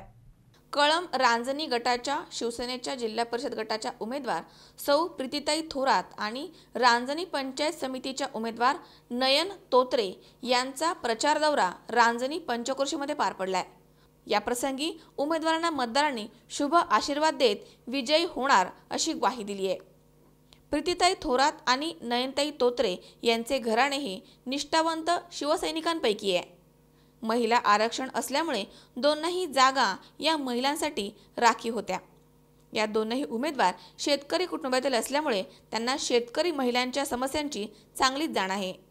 महिलांसाठी काम करण्याच्या हेतूने आणि लोकप्रिय खासदार शिवाजीदादा आढळराव पाटील यांच्या विकासाचा वारसा घेऊन शिवसेनेचे उमेदवार रिंगणामध्ये उतरलेत. आम्ही निवडून येणारच अशी खात्री आता या उमेदवारांना वाटतीये. नमस्कार. मी कळम चांडोली गटाची शिवसेनेची उमेदवार प्रीती प्रवीण थोरात पाटील. ही जिल्हा परिषदेची उमेदवारी आदरणीय खासदार शिवाजीदादा आढळराव पाटील. त्यांनी आमच्यावर विश्वास ठेवून आम्हाला ही संधी दिलेली आहे. ही संधी ही उमेदवारी आम्ही महिलांचे प्रश्न सोडवण्यासाठीच घेतलेली आहे. माझ्या महिलांच्या काही अडचणी असतील त्यामध्ये गर्भ गर्भवती महिला असतील किंवा रोज मोलमजुरी करून जगणाऱ्या काही महिला असतील त्यांच्यासाठी जे जिल्हा परिषदेच्या ज्या काही योजना असतील त्या सर्व योजना तळागाळातील घटकापर्यंत पोहोचवण्याचा आमचा या ठिकाणी प्रामाणिक प्रयत्न असेल. आदरणीय खासदार शिवाजीदादा आढळराव पाटलांनी आम्हाला ही संधी दिलेली आहे. त्या संधीचं सोनं केल्याशिवाय आम्ही राहणार नाही. त्याचप्रमाणे ज्या ज्या जिल्हा परिषदेच्या योजना आहेत त्या अगदी शेवटच्या घटकापर्यंत पोहोचवण्यात मी नेहमीच तत्पर राहील. एवढंच या ठिकाणी तुम्हाला सांगू इच्छिते आणि थांबते. धन्यवाद. जय हिंद जय महाराष्ट्र. मी शिवाय सुदाम भोर राजनीगावचा रहिवासी शिवसेनेचा सुरुवातीपासूनचा कार्यकर्ता अतिशय चांगल्या परिस्थितीत इथं उमेदवार दिलेले शिवाजीदादा आणि उद्धव उद्धव उद्धवसाहेब ठाकरेंनी अतिशय चांगले सज्जन उमेदवार आहेत आणि या महिला आहेत. महिलांचे प्रश्न मांडणारे आहेत आणि इथून मागे त्यांचं कार्य अतिशय चांगलं आहे. मुळात म्हणजे आमच्या चांदवलीच्या पाटील लोकांनी आता अतिशय चांगल्या तऱ्हेने पक्षाचं काम केलेलं आहे आणि त्यांच्याच गावात उमेदवारी मिळाली म्हणून आम्ही सगळे झटून कामाला लागलेलो आहोत. आमच्या गावातून कमीत कमी ऐंशी टक्के मतदान देऊन या अतिशय चांगल्या मतांनी निवडून येतील. बहुतेक सहा ते सात हजार मत आज मताधिक्याने पाटील बाई आणि ही दुसरी आमची तोत्रे मॅडम निवडून येतील अशी आम्ही अपेक्षा करतो. जय हिंद जय महाराष्ट्र. मी थोरंदळ या गावचा रहिवासी असून थोरंदळ या गावचा उपसरपंच मंगेश टेमगिरे. या ठिकाणी माननीय पक्षप्रमुख उद्धवजी ठाकरे आदरणीय खासदार शिवाजीदादा आढळराव पाटील यांनी या ठिकाणी युवा सेनेचे तालुका प्रमुख प्रवीण शेठ थोरात पाटील यांच्या मिसेस प्रीतीताई प्रवीण थोरात त्याचप्रमाणे थोरंदळे गावातील एक गरीब कुटुंबातील महिला या ठिकाणी नयन गणेश तोत्रे यांच्यावर जो विश्वास ठेवला या विश्वासाला थोरंदळे आधी कळमराजनी जिल्हा परिषद गटातील सर्व मतदार आज या ठिकाणी यांना भरभरून यांच्यावर प्रेम करत आहे. आणि प्रचारातही आज या ठिकाणी पाहत असताना ज्यावेळेस हे दोन उमेदवार गावागावातून हिंडतात सर्वसामान्य जनता यांच्या पाठीमागे प्रचारासाठी फिरत आहे. कोणतंही राजकीय वलय नसताना फक्त प्रवीण शेठ पाटील या ठिकाणी सामाजिक कार्याचा एक धागा घेऊन जनतेच्या पुढे आलेले आहेत. तिथून पाठीमागे उमेदवारी नसतानाही पण कुणाचीही कोणतीही परत अडचण असो या ठिकाणी प्रवीण शेठ असतील त्यांचे बंधू असतील किंवा त्यांचं संपूर्ण कुटुंबच कायमस्वरूपी या ठिकाणी जनतेच्या सहकार्यामध्ये राहिलेलं आहे. आणि या ठिकाणी मी सर्व शिवसैनिकांच्या वतीने सांगतो प्रीतीताई थोरात आंबेगाव तालुक्यातच नव्हे तर संपूर्ण पुणे जिल्ह्यात सर्वाधिक मताधिक्याने निवडून येणारा उमेदवार असत त्याचबरोबर नयन गणेश तोत्रे या ठिकाणी भरपूर मताने विजय होतील या ठिकाणी थांबतो आणि थांबतो. जय हिंद जय महाराज निलेश बानखेले सह स्वप्नील जाधव सी चोवीस तास मंचर. पारगाव अवसर जिल्हा परिषद गटाचे उमेदवार सचिन टावरे आणि पारगाव पंचायत समिती गटाचे उमेदवार बाळू गबाले यांनी जोरदार प्रचार सुरू केलाय. दरम्यान उमेदवारांचा त्यांना उत्तम प्रतिसाद मिळतोय. पारगाव अवसर जिल्हा परिषद गटाचे उमेदवार सचिन टावरे आणि पारगाव पंचायत समिती गटाचे उमेदवार बाळू गभाले यांचा प्रचार जोरात सुरू आहे. त्यांना मतदारांकडनं चांगला प्रतिसाद मिळतोय. जारकरवाडी पारगाव शिंगव वैदवाडी या गावांच्या पंचक्रोशीतील प्रचार आता पूर्ण झालाय. मतदार राजाचा त्यांना चांगलाच प्रतिसाद मिळतोय. या उमेदवारांनी प्रत्येकाच्या घरोघरी जाऊन मतदारांचा आशीर्वाद घेतलाय. चला घेऊ छत्रपतींचा आशीर्वाद आणि देऊ मोदींना साथ अशी वाक्य आता पारगाव अवसर जिल्हा परिषद गटातील मतदारांच्या तोंडून ऐकायला मिळत आहेत नमस्ते. मी जिल्हा परिषदेचा भारतीय जनता पार्टीचा उमेदवार म्हणून या ठिकाणी पारगाव अवसरी बुद्रुक गटातून निवडणूक लढवतो. या ठिकाणी आम्ही जारकरवाडी बडेकर वस्ती पारगाव शिंगवे कापडदारा. वैदवाडी. वैदवाडी. या ठिकाणचा आतापर्यंत प्रचार दौरा यशस्वीपणे पूर्ण केलेला आहे. या ठिकाणी भारतीय जनता पार्टीला उत्तम प्रतिसाद प्रतिसाद या ठिकाणी मिळतोय. जनता माझ्या पाठीशी आहे. आणि मी शंभर टक्के निवडून येईल असा मला ठाम विश्वास या ठिकाणी वाटतो या ठिकाणी जनतेतून मला थेट प्रश्न विचारण्यात आलेले आहेत. रस्त्याचा प्रश्न असेल विजेचा प्रश्न असेल हा प्रश्न जर सोडवला तर आम्ही तुमच्या पाठीशी राहू असं या ठिकाणी मतदारांकडून कौल मला मिळतोय. शेतकऱ्याच्या समस्या या ठिकाणी विचारण्यात येतात. जिल्हा परिषदेत गेल्यानंतर त्या प्र- सगळ्या समस्या मतदारांनी विचारलेले सगळे प्रश्न हे सोडवले जातील. भारतीय जनता पार्टीच्या माध्यमातून सोडवले जातील. उमेदवार म्हणून मी ते स्वतः सोडवील. जय हिंद जय महाराष्ट्र. नमस्कार नमस्कार मी बाळू यशवंत गबाले अवसरी पारगाव गटातनं उमेदवार उमेदवार आहे मी. भाजप या पक्षातनं मला उमेदवारी मिळाली आहे. तरीच या ठिकाणी बेरोजगारांसाठी मुद्रा लोन योजनेतनं मी म त्यांना सहकार्य मिळवण्याचं काम मी या माध्यमातून करणार आहो पक्षाच्या माध्यमातून करणार आहे. आणि तसेच माझे जो सहकारी सचिन भाऊ टावरे जिल्हा परिषद उमेदवार आहेत त्यांनाही या ठिकाणी मी त्यांच्या माध्यमातून बरंच या विभागातल्या पोंदेवाडी जारकरवाडी वैदवाडी या विभागातनं रस्त्याच्या बाबतीत कामं काही कामं असतील लाईटच्या बाबतीत काही कामं असतील. आत्ताच आमच्या महिला महिलांनी या ठिकाणी बरीचशी माहिती दिली लाईटच्या बाबतीत. तीनशे रुपये बिल येतोय आणि पुढच्या महिन्याला दोनशे रुपये बिल येतोय. तर त्या त्याबाबतही आम्ही या ठिकाणी आम्ही पंचायत समिती आणि जिल्हा परिषद या दोन्ही गटाच्या माध्यमातून आम्ही त्यांच्याकडे जाणीवपूर्वक लक्ष देऊ आणि त्यांचं काम या ठिकाणी पूर्ण करू. एवढंच बोलून मी या ठिकाणी थांबतो. जय स्टार्ट हां मी शांताराम बोईत बोलतोय. आमच्याकडे रस्त्याची कामं झाली पाहिजे. एक तर शेतीमाला बाजार बाजार भाव नाही आहे बाजार व्यवस्थित मिळाला पाहिजे. शेतकऱ्यांची कर्ज पूर्ण माफ केली पाहिजे. सातबारा नील केला पाहिजे. शेतकऱ्यांनी कवर कर्ज काढले कर्ज काढूनही बी मालाचे पैसे होत नाही. इकडे लाईटीचा बिलसुद्धा भरायला म माणसाकडे पैसे शिल्लक राहत नाही. आणि माणसं लाईटचं बिलसुद्धा माफ केलं पाहिजे. रस्त्याचे दळणवळणसुद्धा व्यवस्थित माल पुरवठा करता आला पाहिजे. माल बाजारात घेता आला पाहिजे. रस्ते नाही. आणि शेतकऱ्यांचे कर्ज पूर्ण माफ करायला पाहिजे. तेव्हा आम्ही सचिन टावणीच्या पाठीशी उभे आहेत ठामपणे. आम्ही तुम्हाला मतदान करू. आमचा सातबारा निघालाच पाहिजे. कसल्याही परिस्थिती ही आमची मागणी पूर्ण केली तर ही जर आमची मागणी पूर्ण केली तर आम्ही सचिन टावणीच्या पाठीमाग शंभर टक्के शंभर टक्के मतदान करू आणि तुम्हाला विजय करून टाकू. हा सातबारा निघालाच पाहिजे शेतकऱ्यांचा. देशात भाजप सरकार राज्यामध्ये भाजप सरकार आता पंचायत समिती आणि जिल्हा परिषदेवर भाजप सरकार येणार का हे आता निवडणुकीनंतरच ठरेल. स्वप्नील जाधव सी चोवीस तास मंचर. पुन्हा एकदा पाहूयात काही ठळक घडामोडी. अहमदनगर येथे जिल्हा आणि सत्र न्यायालय दिवाणी आणि फौजदारी न्यायालयाच्या नूतन इमारतीचे उद्घाटन संपन्न. रावली नगरपालिकेतील प्रभाग क्रमांक दहा मधील सार्वजनिक शौचालयांची दुरावस्था नागरिकांची नाराजी व्यक्त. आगामी निवडणुकीमधील सर्व यंत्रांची एकत्रित बेरीज करून मतमोजणी करावी. राज्य निवडणूक आयुक्तांना हिवरेबाजार सरपंच पवारांचं निवेदन. आणि कोळगाव येथे राष्ट्रवादी काँग्रेस उमेदवारांच्या प्रचारार्थ सभेचं आयोजन. बबनराव पाचपुतेंवर अजित पवारांचे खडे बोल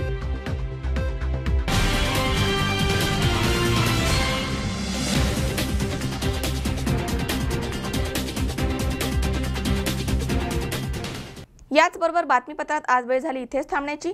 ताज्या अपडेटसाठी बघत रहा सी चोवीस तास. जगा वर्तमानात बिंधास्त